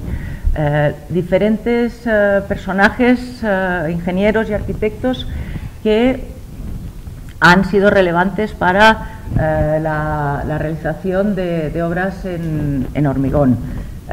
diferentes métodos constructivos, que no voy a repasarlos, pero en fin, qué tipo de uso de, de, hormigón, qué tipo de método constructivo y qué tipo de sistema constructivo se había utilizado. Eh, obviamente, y me olvido, que estuviesen representados los 28 países de la Unión Europea. ¿Eh? Eh, y a todo ello añadirle temas de criterios ya patrimoniales, ¿no? de valores intrínsecos, intrínsecos de la obra con relación a, sus valores sociales y estéticos, también los valores técnicos ¿no? de, de, la obra en cuanto al uso de nuevos materiales y nuevas técnicas, eh, acabados, estructuras, eh, servicios, los valores sociales de, esa propia arquitectura, ¿no? Qué eh, estrategias sociales tuvo en ese momento, si es que las tuvo el edificio, y qué, efectos tuvo sobre el, lugar y sobre los temas de orden social. Y finalmente, pues valores estéticos, ¿no? quizás los menos científicos de todos los que vamos a manejar en este enorme proyecto. Fruto de ello es un listado de 20 edificios con muchas carencias, con muchos problemas, con muchas eh, obras eh, muy interesantes que pretende recorrer diferentes tipos de arquitecturas, diferentes realizaciones. Eh, no nos hemos metido en campos que, excedían nuestro conocimiento, como es el tema de la, ingeniería. Sí que hemos puesto un puente, por fin, con de sistemas de NBIC, en fin, eh, se han intentado reflejar diferentes campos, pero eh, centrándose en el de la arquitectura y, el urbanismo. ¿Eh? Veis aquí algunos ejemplos maravillosos. Ha sido muy difícil ir descartando. Hemos llegado ahora a un listado de, 100 obras, que debe ser además ahora reducido a 20, que eso va a ser mucho más complicado. Pero en fin, ya, para eso ya hablaremos en otra ocasión. En fin, eh, muchas gracias. Estas son las fichas que acabaremos haciendo. No me entretengo más, me están mirando con cara de odio por allí.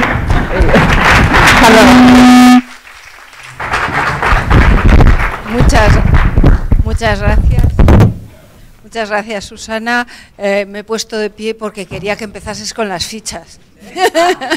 claro, o sea, eh, eh, eh, no, claro, pero es que como quería que empezases a decir los resultados del proyecto, digo, si seguimos filosofando, pues no nos cuenta los resultados del proyecto.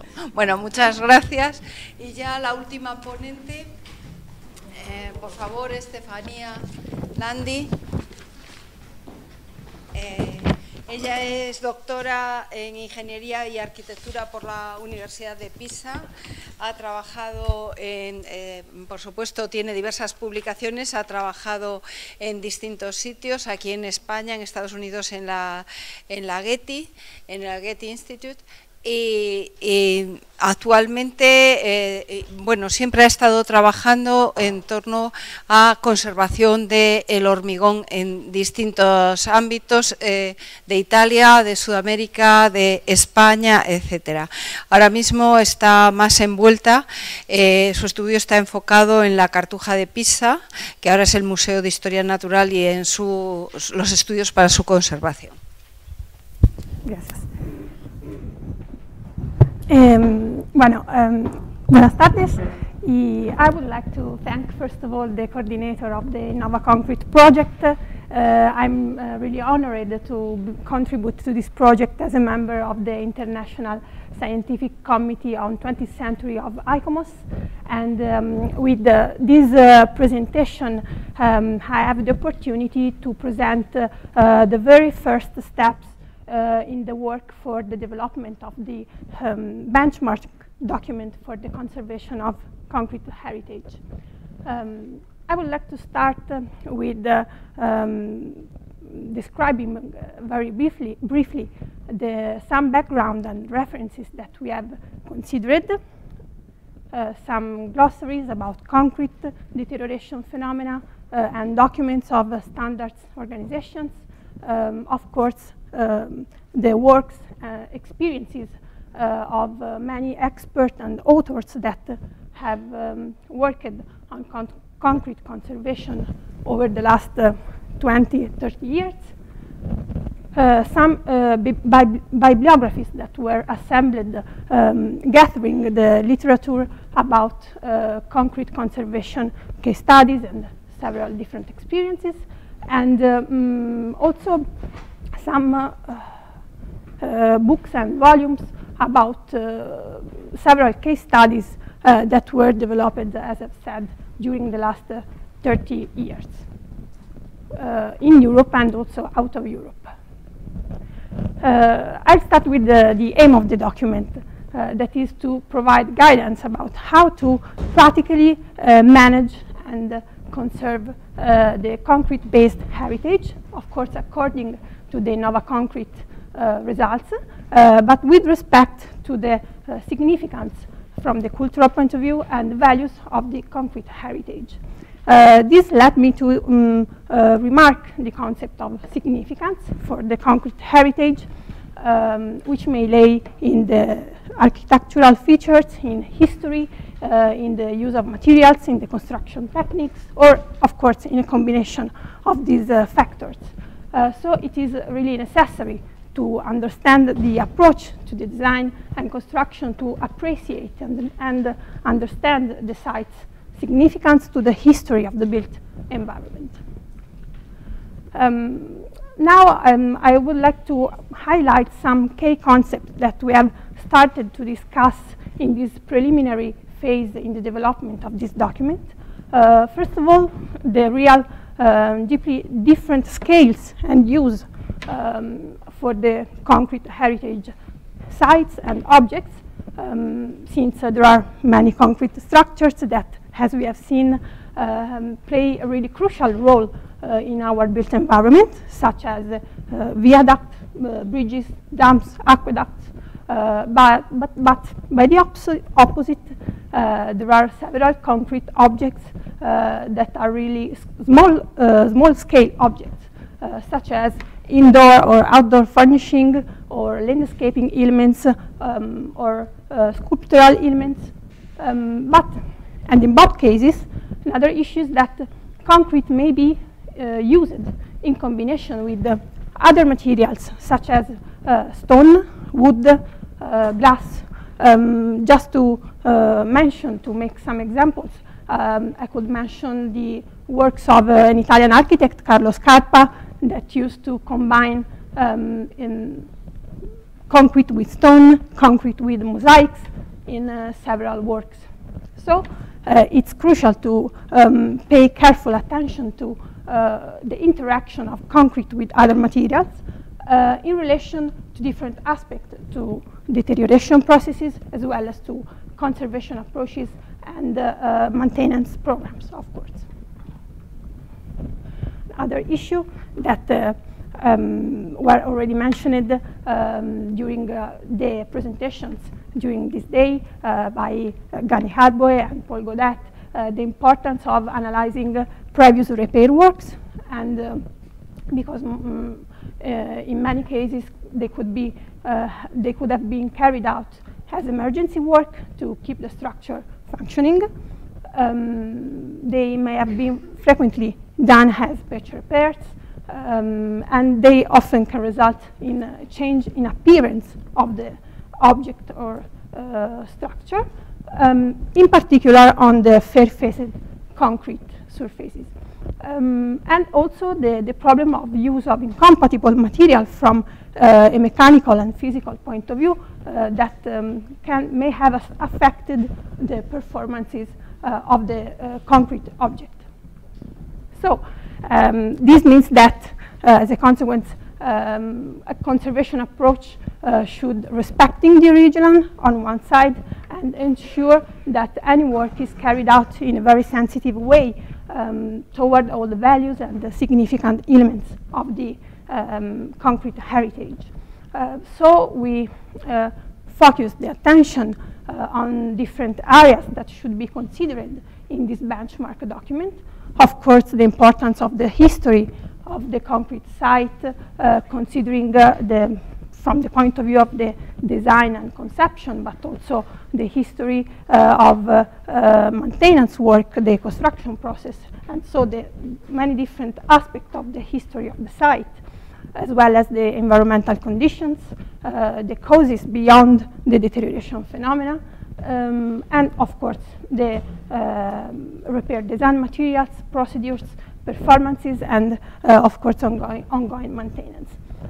So we have started to uh, fix some points that uh, uh, this document should uh, include. And uh, I will now um, uh, actually um, continue the um, continents that this morning Paul Godet described in his presentation. first point, first step, develop knowledge about the concrete heritage. It is indeed crucial to start gathering uh, documentary evidence about the concrete heritage site.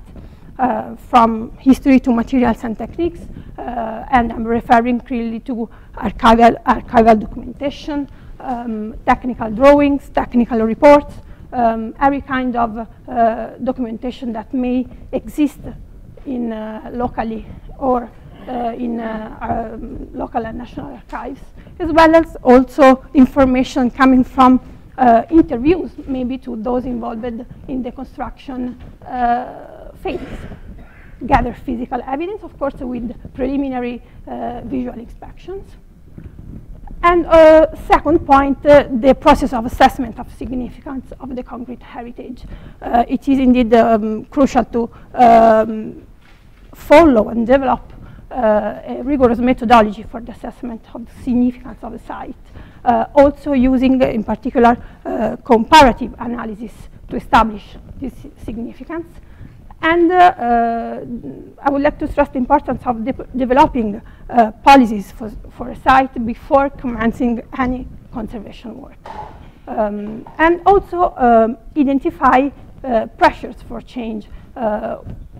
I could consider, for instance, uh, from the point of view of uh, structural safety and the need of uh, um, respect the current uh, um, um, regulatory requirements that may imply, according to, to the use of the, the structure, to up, um, develop significant modification to a structure, such as increasing the thickness of bearing elements, such as uh, substituting or adding structural uh, elements or other kind of operations which may radically um, uh, alter the integrity of the object, the visual perception, uh, the, also the original static scheme of a structure.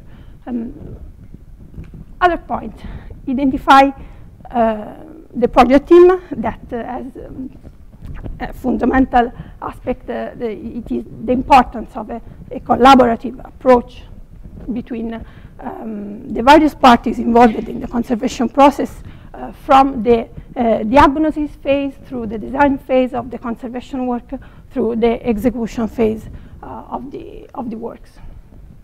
Indeed, um, um, there are two main issues. The um, involvement of qualified expert professionals, uh, as well as of uh, contractors with a proven track record of working with the historic concrete.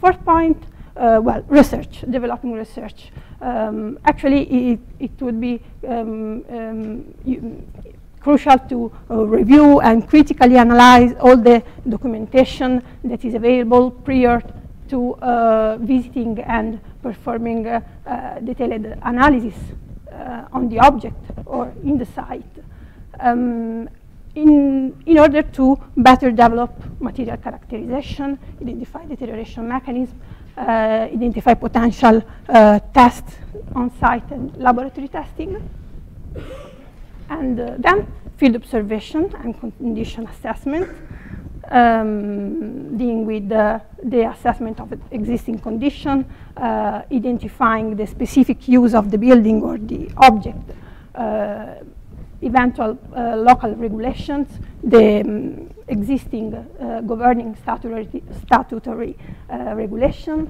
um, and also, as uh, we have already said during the day, uh, the physical characteristics of the materials, uh, the non-destructive evaluation, uh, and so on.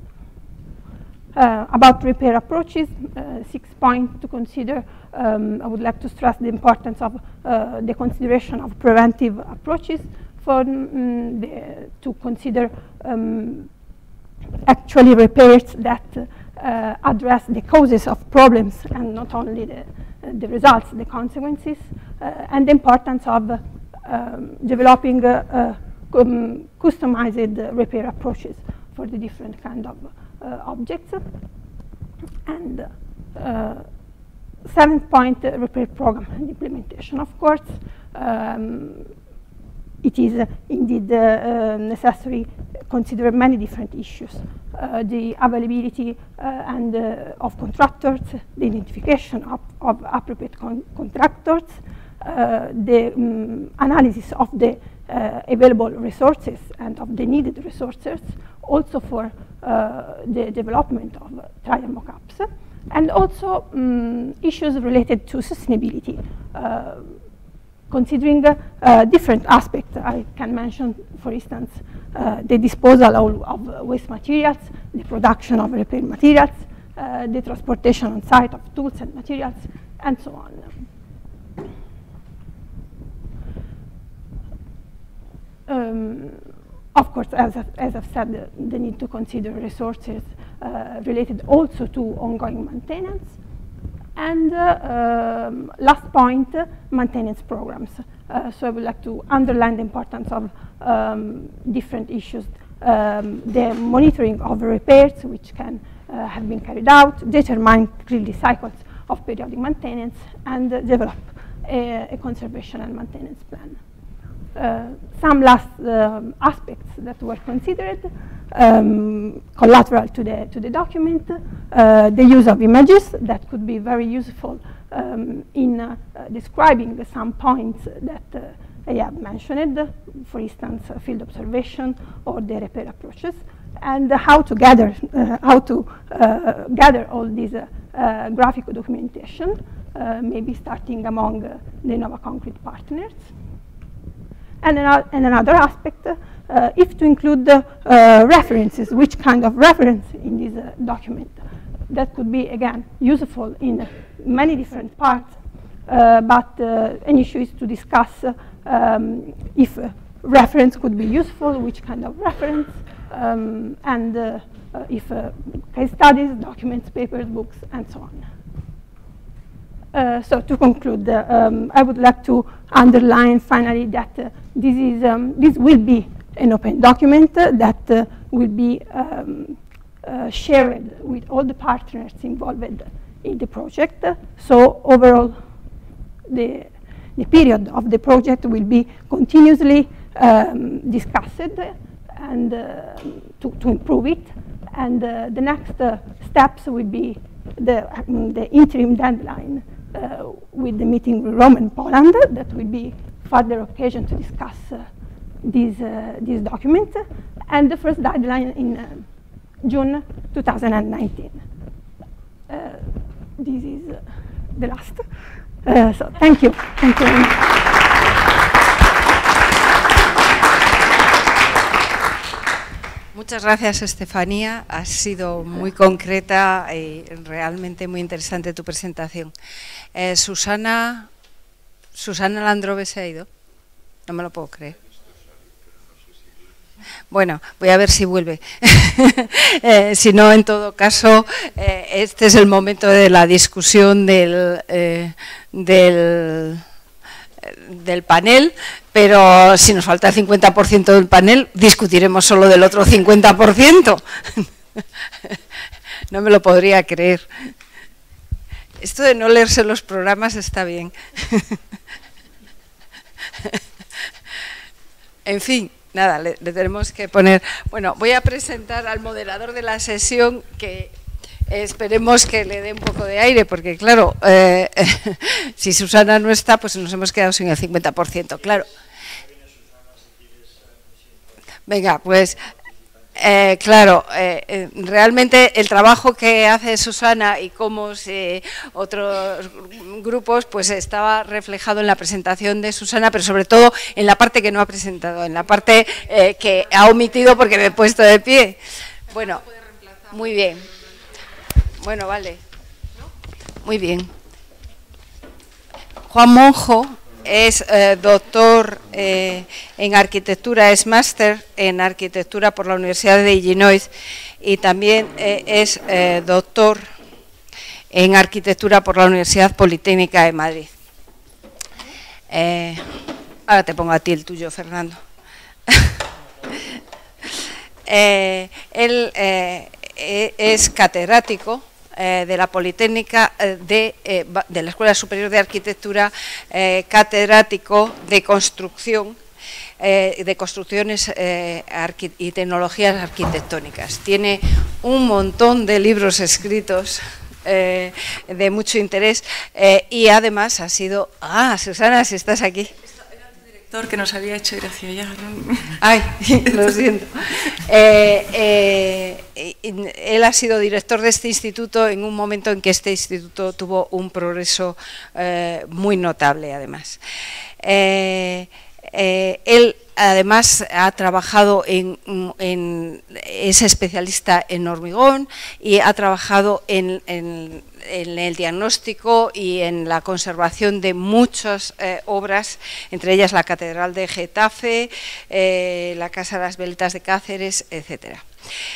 Eh, tiene una red temática de patrimonio muy interesante y, muy activa, Recopar, y edita una revista electrónica que también es muy interesante.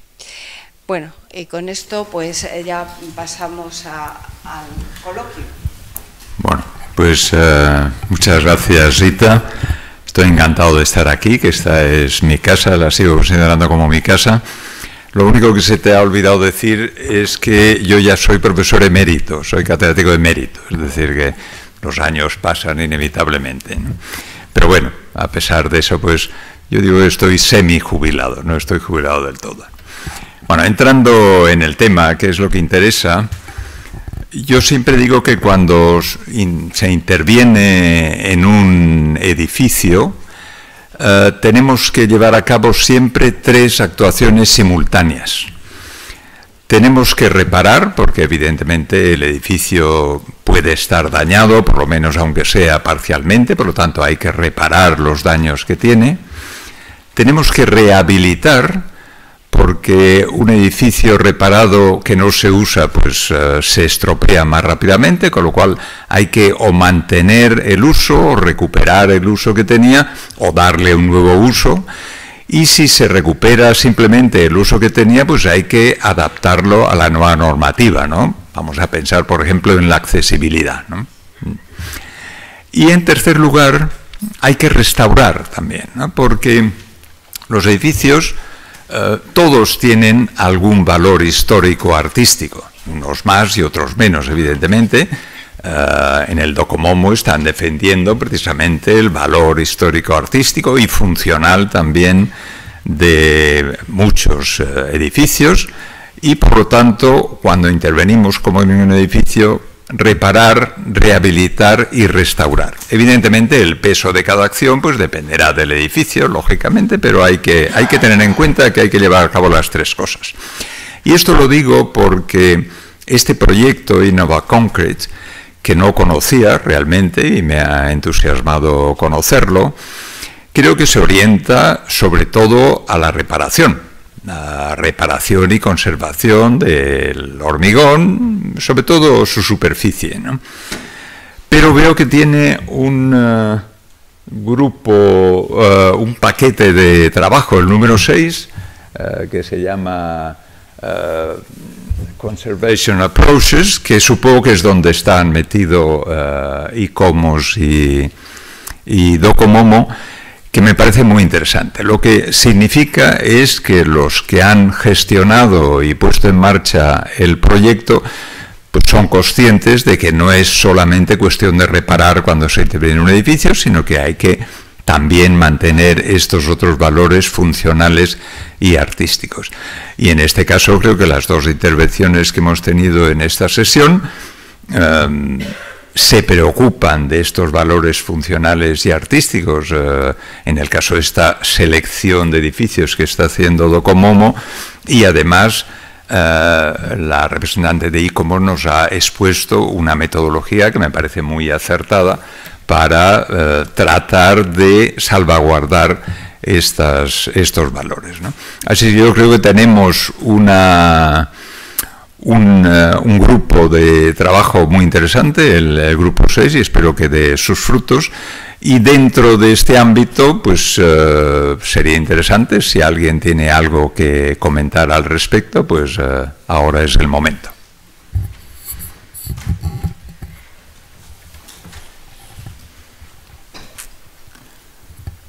Todos a la vez, no. Ahí tenemos uh, una mano levantada. ¿Quién tiene un micrófono? Ah, ahí está.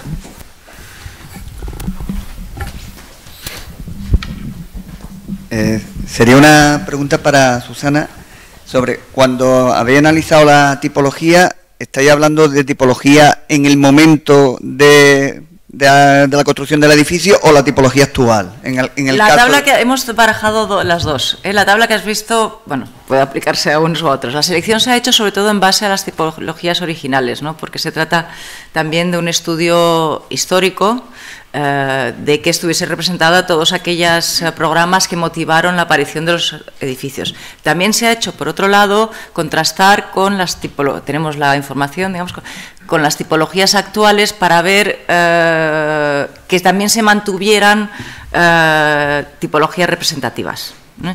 La verdad es que los cambios de estos edificios en, eh, en uso, eh, quizás hay un 7% que hayan cambiado de uso. ¿Eh? Eh, no, han sido tantos. eh. Sí que hay edificios en desuso, ¿eh? eso los habéis visto, que os he enseñado. Eh, también os he enseñado los, los que están más en desuso, ¿no? para, para comentaros los problemas que tiene, que tiene este patrimonio. Y, eso, sí que se ha tenido en cuenta pues, que, se- siguiese siendo representativo. Y luego también pues, aparecen otros usos ¿no? que no existían en su momento. Otra, otra pregunta es sobre la selección. No sé si se escucha, creo que se escucha. Sobre la selección, ¿vaya a utilizar algún criterio de ponderación o cómo vaya a hacer esa selección en cuanto a la en los que, eh, bueno, los criterios que habéis dicho de tipología, periodo de creación del hormigón, autores de obra? ¿Cuál es el criterio que A ver, cada. Se ha hecho un- los cuatro instituciones ¿eh? que, que- que han participado en la, en la selección, se estableció un sistema de votación ¿eh? Eh, que se ha calibrado luego, pues justamente para atender a estas cuestiones, ¿no? Entonces, pues cada una de las de- del conjunto de edificios que había ¿eh? Votaron los que ellos pensaban que eran más más eh, interesantes. ¿eh? Entonces, cada uno de ellos un poco según criterios, eh, con, una, con unos criterios comunes, pero obviamente con unas preocupaciones quizás diferentes, ¿no? Pues también buscadas, ¿no? Pues que el Instituto Torroja se ocupase más de temas de hormigón, ¿no? Pues, o que son los que tienen el conocimiento sobre el tema, ¿no? que nosotros podíamos tener un conocimiento más superficial, pero que no éramos especialistas en ello. ¿no? Eh, y cómo eh, lo ha hecho en base a, sus, a todos sus delegados, ¿eh? ha sido un sistema más de, de- de votación común de ellos que luego han trasladado.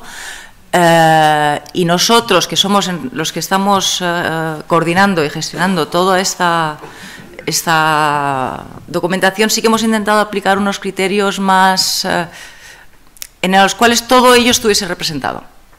¿eh? Primando la, la calidad de, la arquitectura, desde luego, pero eh, pues que haya un cierto, las tipologías importantes, la vivienda, la educación, pues que tengan más representación que, que otros edificios. Que hubiese edificios de Torroja, de Fernández Casado, eh, de Genevique, de, en fin, de todos aquellos de Nervi, de todos los ingenieros que han eh, sido importantes para el desarrollo del hormigón, tenían que estar representados. Que también eh, estuviesen pues, los arquitectos más, que, más significativos que han trabajado con el hormigón. la dificultad ha sido más bien a, la contraria, ¿no? de, una especie de Tetrix, como decía San Bricio esta mañana, de, encajar eh, todo aquello y que además, eh, bueno, los países, ¿no? Eh, también, pues, al final hay países obviamente que van a tener más edificios que otros, ¿no?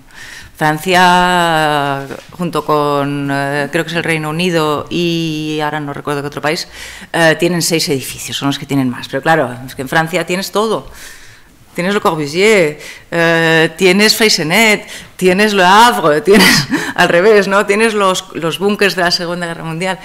Eh, se ha intentado, pues desde el punto de vista de la calidad de la arquitectura y de los siempre sobre hormigón visto, ¿eh? lo cual también nos ha eh, limitado bastante el trabajo ¿eh? y el hormigón visto, puesto que se trata de transmitir a la sociedad la importancia del hormigón. Por ahí, por lo tanto, se decidió que tenía que ser visto. Eso fue el primer paso.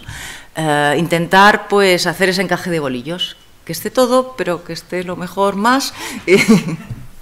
pero con métodos mmm, diferentes a los de nuestros amigos científicos, pues por, puesto que no es precisamente una disciplina científica, ¿no? Muchas gracias y, y por la prisa no me, Hay una os he dicho tercera que me parece muy interesante eh. Muy bien. Aquí hay una pregunta, aquí en el centro. Uh, it's actually not a question, it's a comment or clarification to say that um, these two lists, and there will be two lists, one is the 100 of the 20th century, and the next will be the 20th of the 20th century. They're not intended to be the list or, you know, the ultimate list of the best buildings, although we do think they are amongst the best buildings. It's really a matter of using a, a methodology or a way to bring awareness so that people can get an appreciation of the rich variety of what's out there. This is why we stressed trying to represent all the different kinds of typologies we could, the different architects that we could, and uh, the uses and everything else. I think we need to be clear about what it is and what it isn't. It's not, I mean, as Susanna said, in, in Spain alone, you have 1,700 buildings that could be on the list. So to bring that down to uh, four or five is a very difficult task. And it's hoped that people understand that it's done in a way that is, um, uh, we're not trying to be everything to everyone. We're just trying to give some highlights to what, what we could be thinking about when thinking of concrete heritage. Y también hay otro tema que he olvidado comentar. Eh, a veces hay criterios que no son los arquitectónicos, pero creíamos que eran muy importantes en este proyecto, que es ese lado de llegar a la sociedad. ¿no? Por lo tanto, a veces se ha primado un edificio que, era, que tenía más visibilidad, eh, bueno, no sé, una tipología que no es muy importante son los zoos, ¿no? Por decir- pero teníamos un zoo estupendo en la piscina de los pingüinos de Lubetkin en Londres, pues se ha primado eh, la elección de esa pieza, ¿no? Porque es algo que fácilmente puede atraer la atención de alguien que no está versado sobre la arquitectura ni sobre el hormigón. Muy bien. Adelante. Eh, yo tengo dos preguntas más por crear polémica que otra cosa, porque ya lo hemos hablado entre nosotros. Pero eh, para Susana, la pregunta es un poco ya pensando en la lista de los 20, puesto que la de los 100 ya la tenemos. Eh, si crees que tenemos que seguir los mismos criterios o quizá tenemos que ser eh, de una forma quizá más rigurosa con respecto a lo que hemos ido a los 100 primeros, ¿no? Quizá no es tan importante a lo mejor el que todos los países tengan un representante, que no va a ser posible porque somos 28 y vamos a elegir 20, eh, o cosas como por ejemplo los valores realmente intangibles del edificio, ¿no? los, que lo han, los que lo han conservado mejor o no. Y luego una, una, una duda que tengo, que tengo también en esta segunda selección es si crees que debemos de tener en cuenta eh, el estado de conservación de- del edificio, ¿no? Es decir, hemos visto algunos ejemplos muy buenos, pero que estaban muy transformados, incluso hemos dudado si eh, nominarlos o no, ¿no? Para esta segunda fase, ¿crees que eso tiene que ser importante? Es decir, los 20 edificios que elijamos realmente tienen que estar bien conservados. Y ahora para Estefanía, tengo una pregunta un poco eh, planteada por un comentario que ha hecho el moderador con respecto a la conveniencia o no de que los, eh, las restauraciones que hagamos o las intervenciones que hagamos en edificios de hormigón deberían de cumplir la norma o no.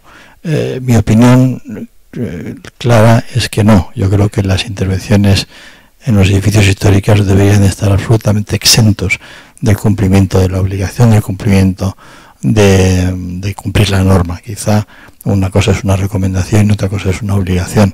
Eh, pero en cualquier caso, como lo tendremos que tratar en nuestro documento, pues por saber si tienes alguna opinión. A ver, respecto a- al tema de los 20 edificios, ¿eh? que yo todavía discutiría si deben ser 20, eso lo dejaremos para otro momento, eh, yo creo que los, eh, los criterios eh, generales van a ser los mismos. Lo que sí que yo creo que debe cambiar es la manera de ponderar esos criterios. No debemos olvidar el objetivo del proyecto sigue siendo el mismo, ¿no? eso no, no varía. Lo que sí que es cierto, pues que dentro de ese tipo de criterios que hemos analizado, hay algunos que van a tener más importancia que otros. ¿Eh? Y va a haber que concentrar, es que es de alguna manera que lo que creemos que es más importante de los criterios que estamos eh, valorando eh, esté ahí. Mm, va a ser complicado. Yo creo que también hay que mantener, pero a la vez hay que mantener equilibrios, porque si no, no sería representativo de lo que es un proyecto europeo ¿no? y que pretende llegar a toda la comunidad europea. ¿Eh? Y de ahí mis dudas sobre si tienen que ser 20 o 28 edificios. Pero, eh, pero no, creo, no hay nuevos criterios, lo que sí que hay es una ponderación de los criterios existentes.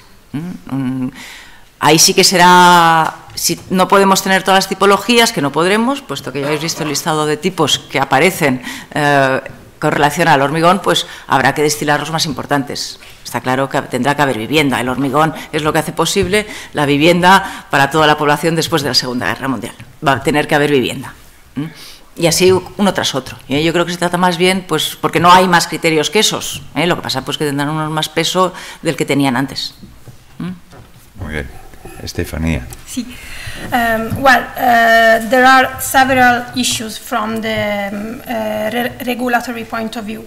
Um, climate comfort and uh, environmental sustainability, um, seismic safety, uh, fire safety, accessibility.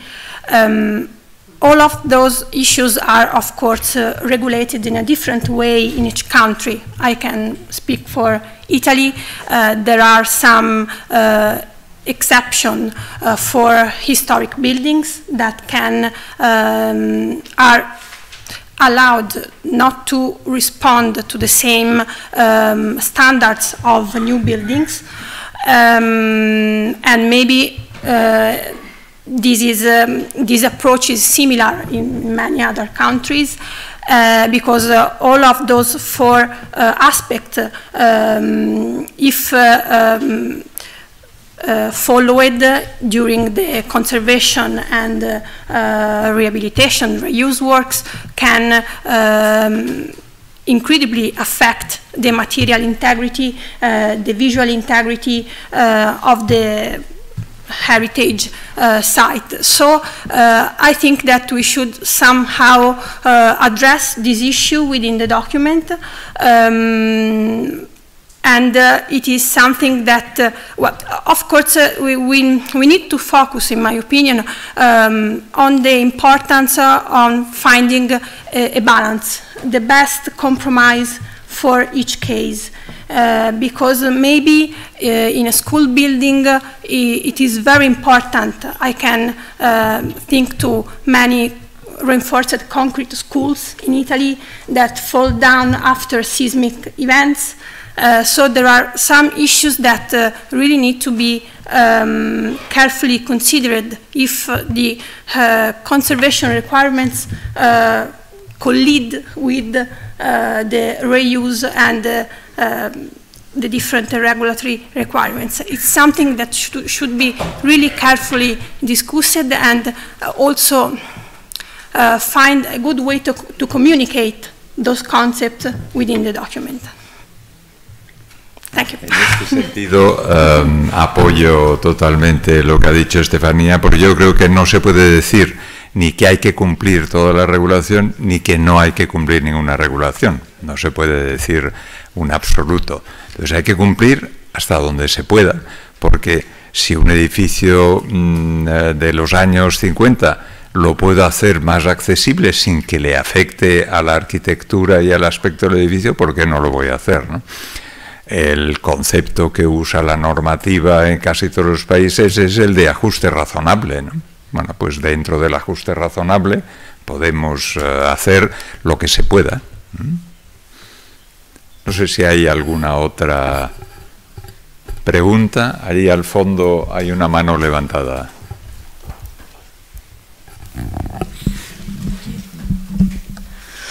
Well, thank you again for this new part of the project, which is very interesting. And my question is kind of controversial, but uh, it's just uh, for your fun to answer. Um, the question is why? Why 20 or why 100 monuments?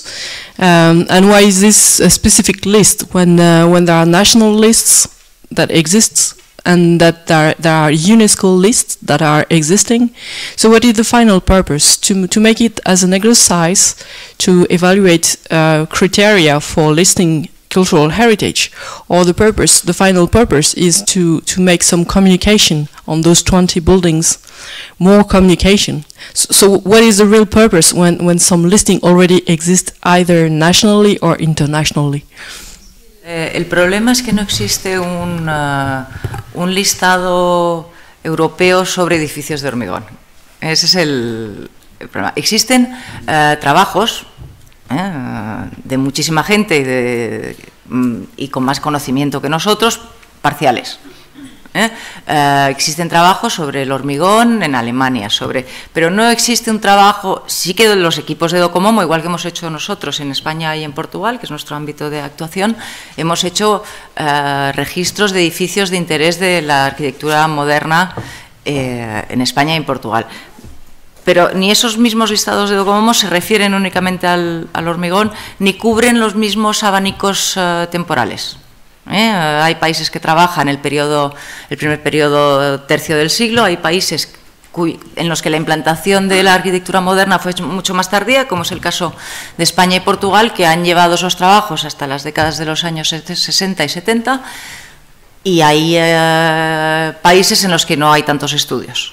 ¿Eh? Por lo tanto, esto se trata más de una mirada unitaria ¿eh? sin querer ser mejor que otras parciales que existen, ¿eh? pero lo, que tiene de diferente respecto a las demás es que es una mirada unitaria de un conjunto de países que pues, resultan ser los de la Comunidad Europea, por homogeneizar un contenido en un solo documento referido a Europa. Respecto a que son 100 o son 20, te doy toda la razón. Podrían haber sido 200, pero casi da lo mismo es uh, en algún momento hay que establecer el corte. ¿eh? La verdad es que fue idea de, de, ICOMOS. Yo, mi primera impresión era hacer un listado más amplio en el cual se pudiesen ver más edificios, pero parecía que como mensaje era fácilmente transmitibles, eh, 100 edificios, un año son, un siglo son 100 años, eh, del siglo XX, del siglo XX, no sé. Quizás un poco infantil, pero sí que como mensaje rápido parecía funcionar. ¿eh? Podrían haber sido 200 seguro y 300 también. Y hubiese sido igual de difícil. ¿eh? Muy bien. No sé, Estefanía, si quieres añadir algo.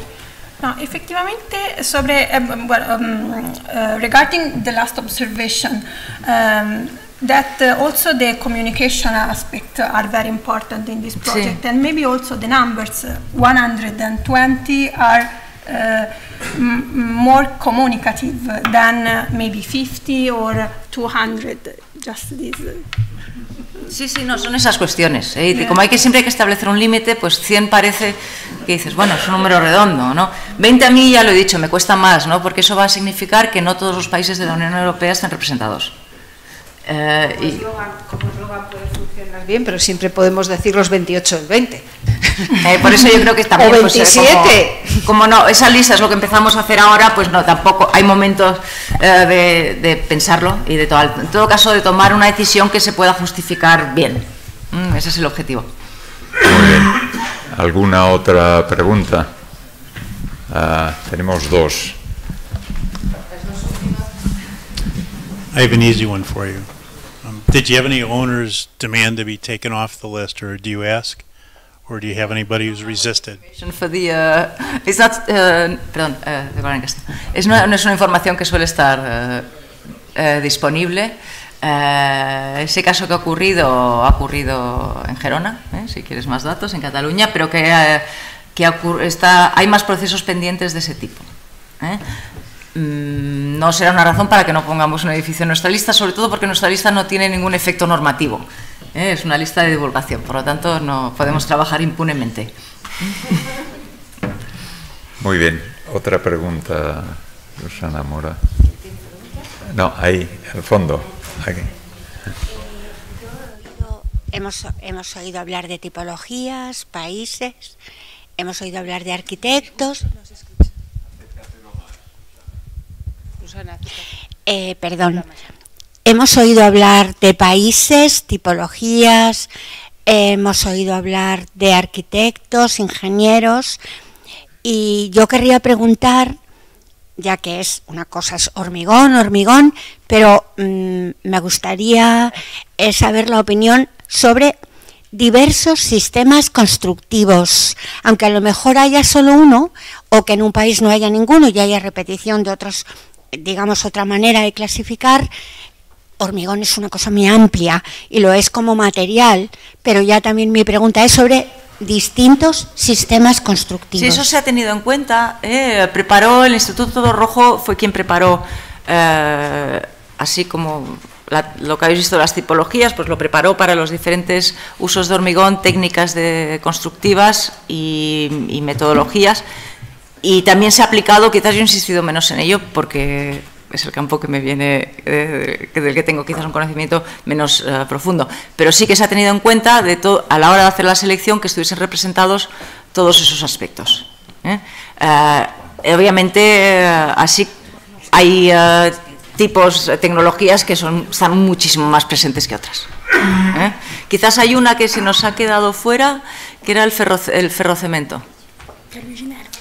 Era, esa es la única que se nos ha quedado fuera porque solo había un ejemplo y no nos pareció que fuese, tuviese suficiente entidad como...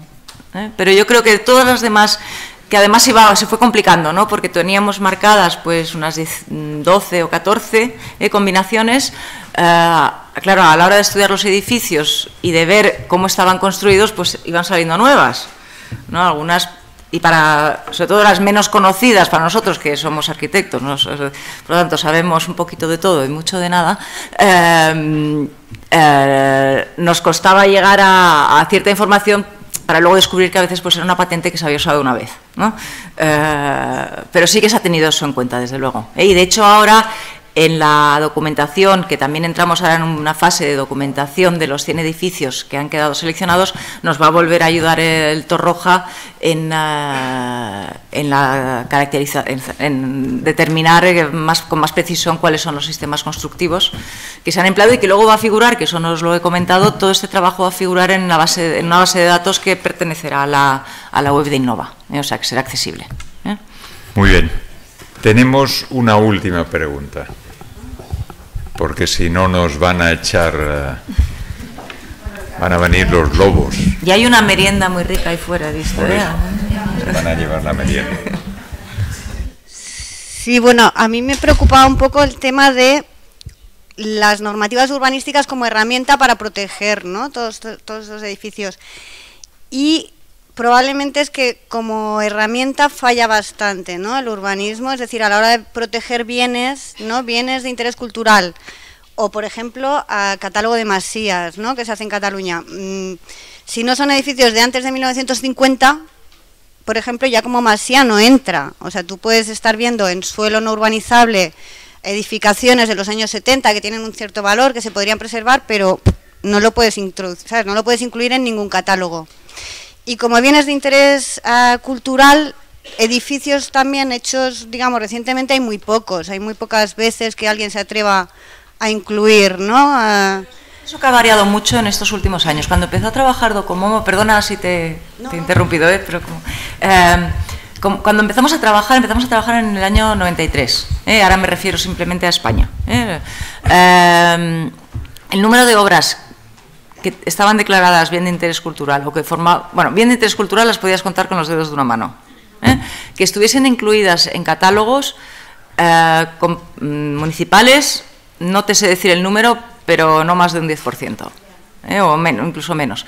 Eh, han pasado dos años, un 20, más de 20 años. En 2015 volvimos a hacer, eh, y además ya con mucha más información, ¿eh? porque cuando empezamos a trabajar estábamos trabajando con 196 edificios, creo que eran, y ahora estamos trabajando con más de 1.700, ¿eh? con una última ampliación que hemos hecho de 10 años más que llegamos a, a 2.500 edificios. Bueno, con los datos de los 1.700, cerca del 40% de edificios tienen protección.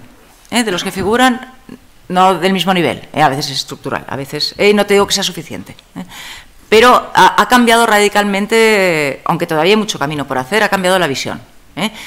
Eh, ¿Por qué? A veces, pues lo de los números, ¿no? El hecho de haber cambiado de siglo, es bien poco importante, eh, ha hecho que de golpe dicen, no, pues ¿cuál va a ser el patrimonio del siglo XX? ¿no? Porque ahora ya estamos en el XXI, ¿no? Eh, ha cambiado un poco la visión. También pues la insistencia, ¿no? Al final, aunque te haga un poco caso cuando, eh, la, en fin, la mosca, como la llaman, eh, tal, pues acaba, eh, acaba teniendo cierta voz, ¿no? Respecto a que si son herramientas adecuadas, lo de los 50 años también es muy relativo, ¿eh? porque tampoco todas las leyes recogen eso de los 50 años. Lo de los cin- Sí, pero eso no, no existe para la arquitectura, eh, no, no, es un- no, no está recogido en la ley. Bueno, por eso, pero para la arquitectura que estamos trabajando nosotros no existe eso. Si os parece, eso ya casi es una luego. discusión Sí. eh, personal, se puede hacer mientras tomamos el café. Bueno, pues muchas gracias eh, a todos por esta sesión. Yo no me meto en la sesión general y me parece que cortamos para... Cortamos, nos vamos a tomar el café y las conclusiones las vamos a hacer mañana. Muy bien.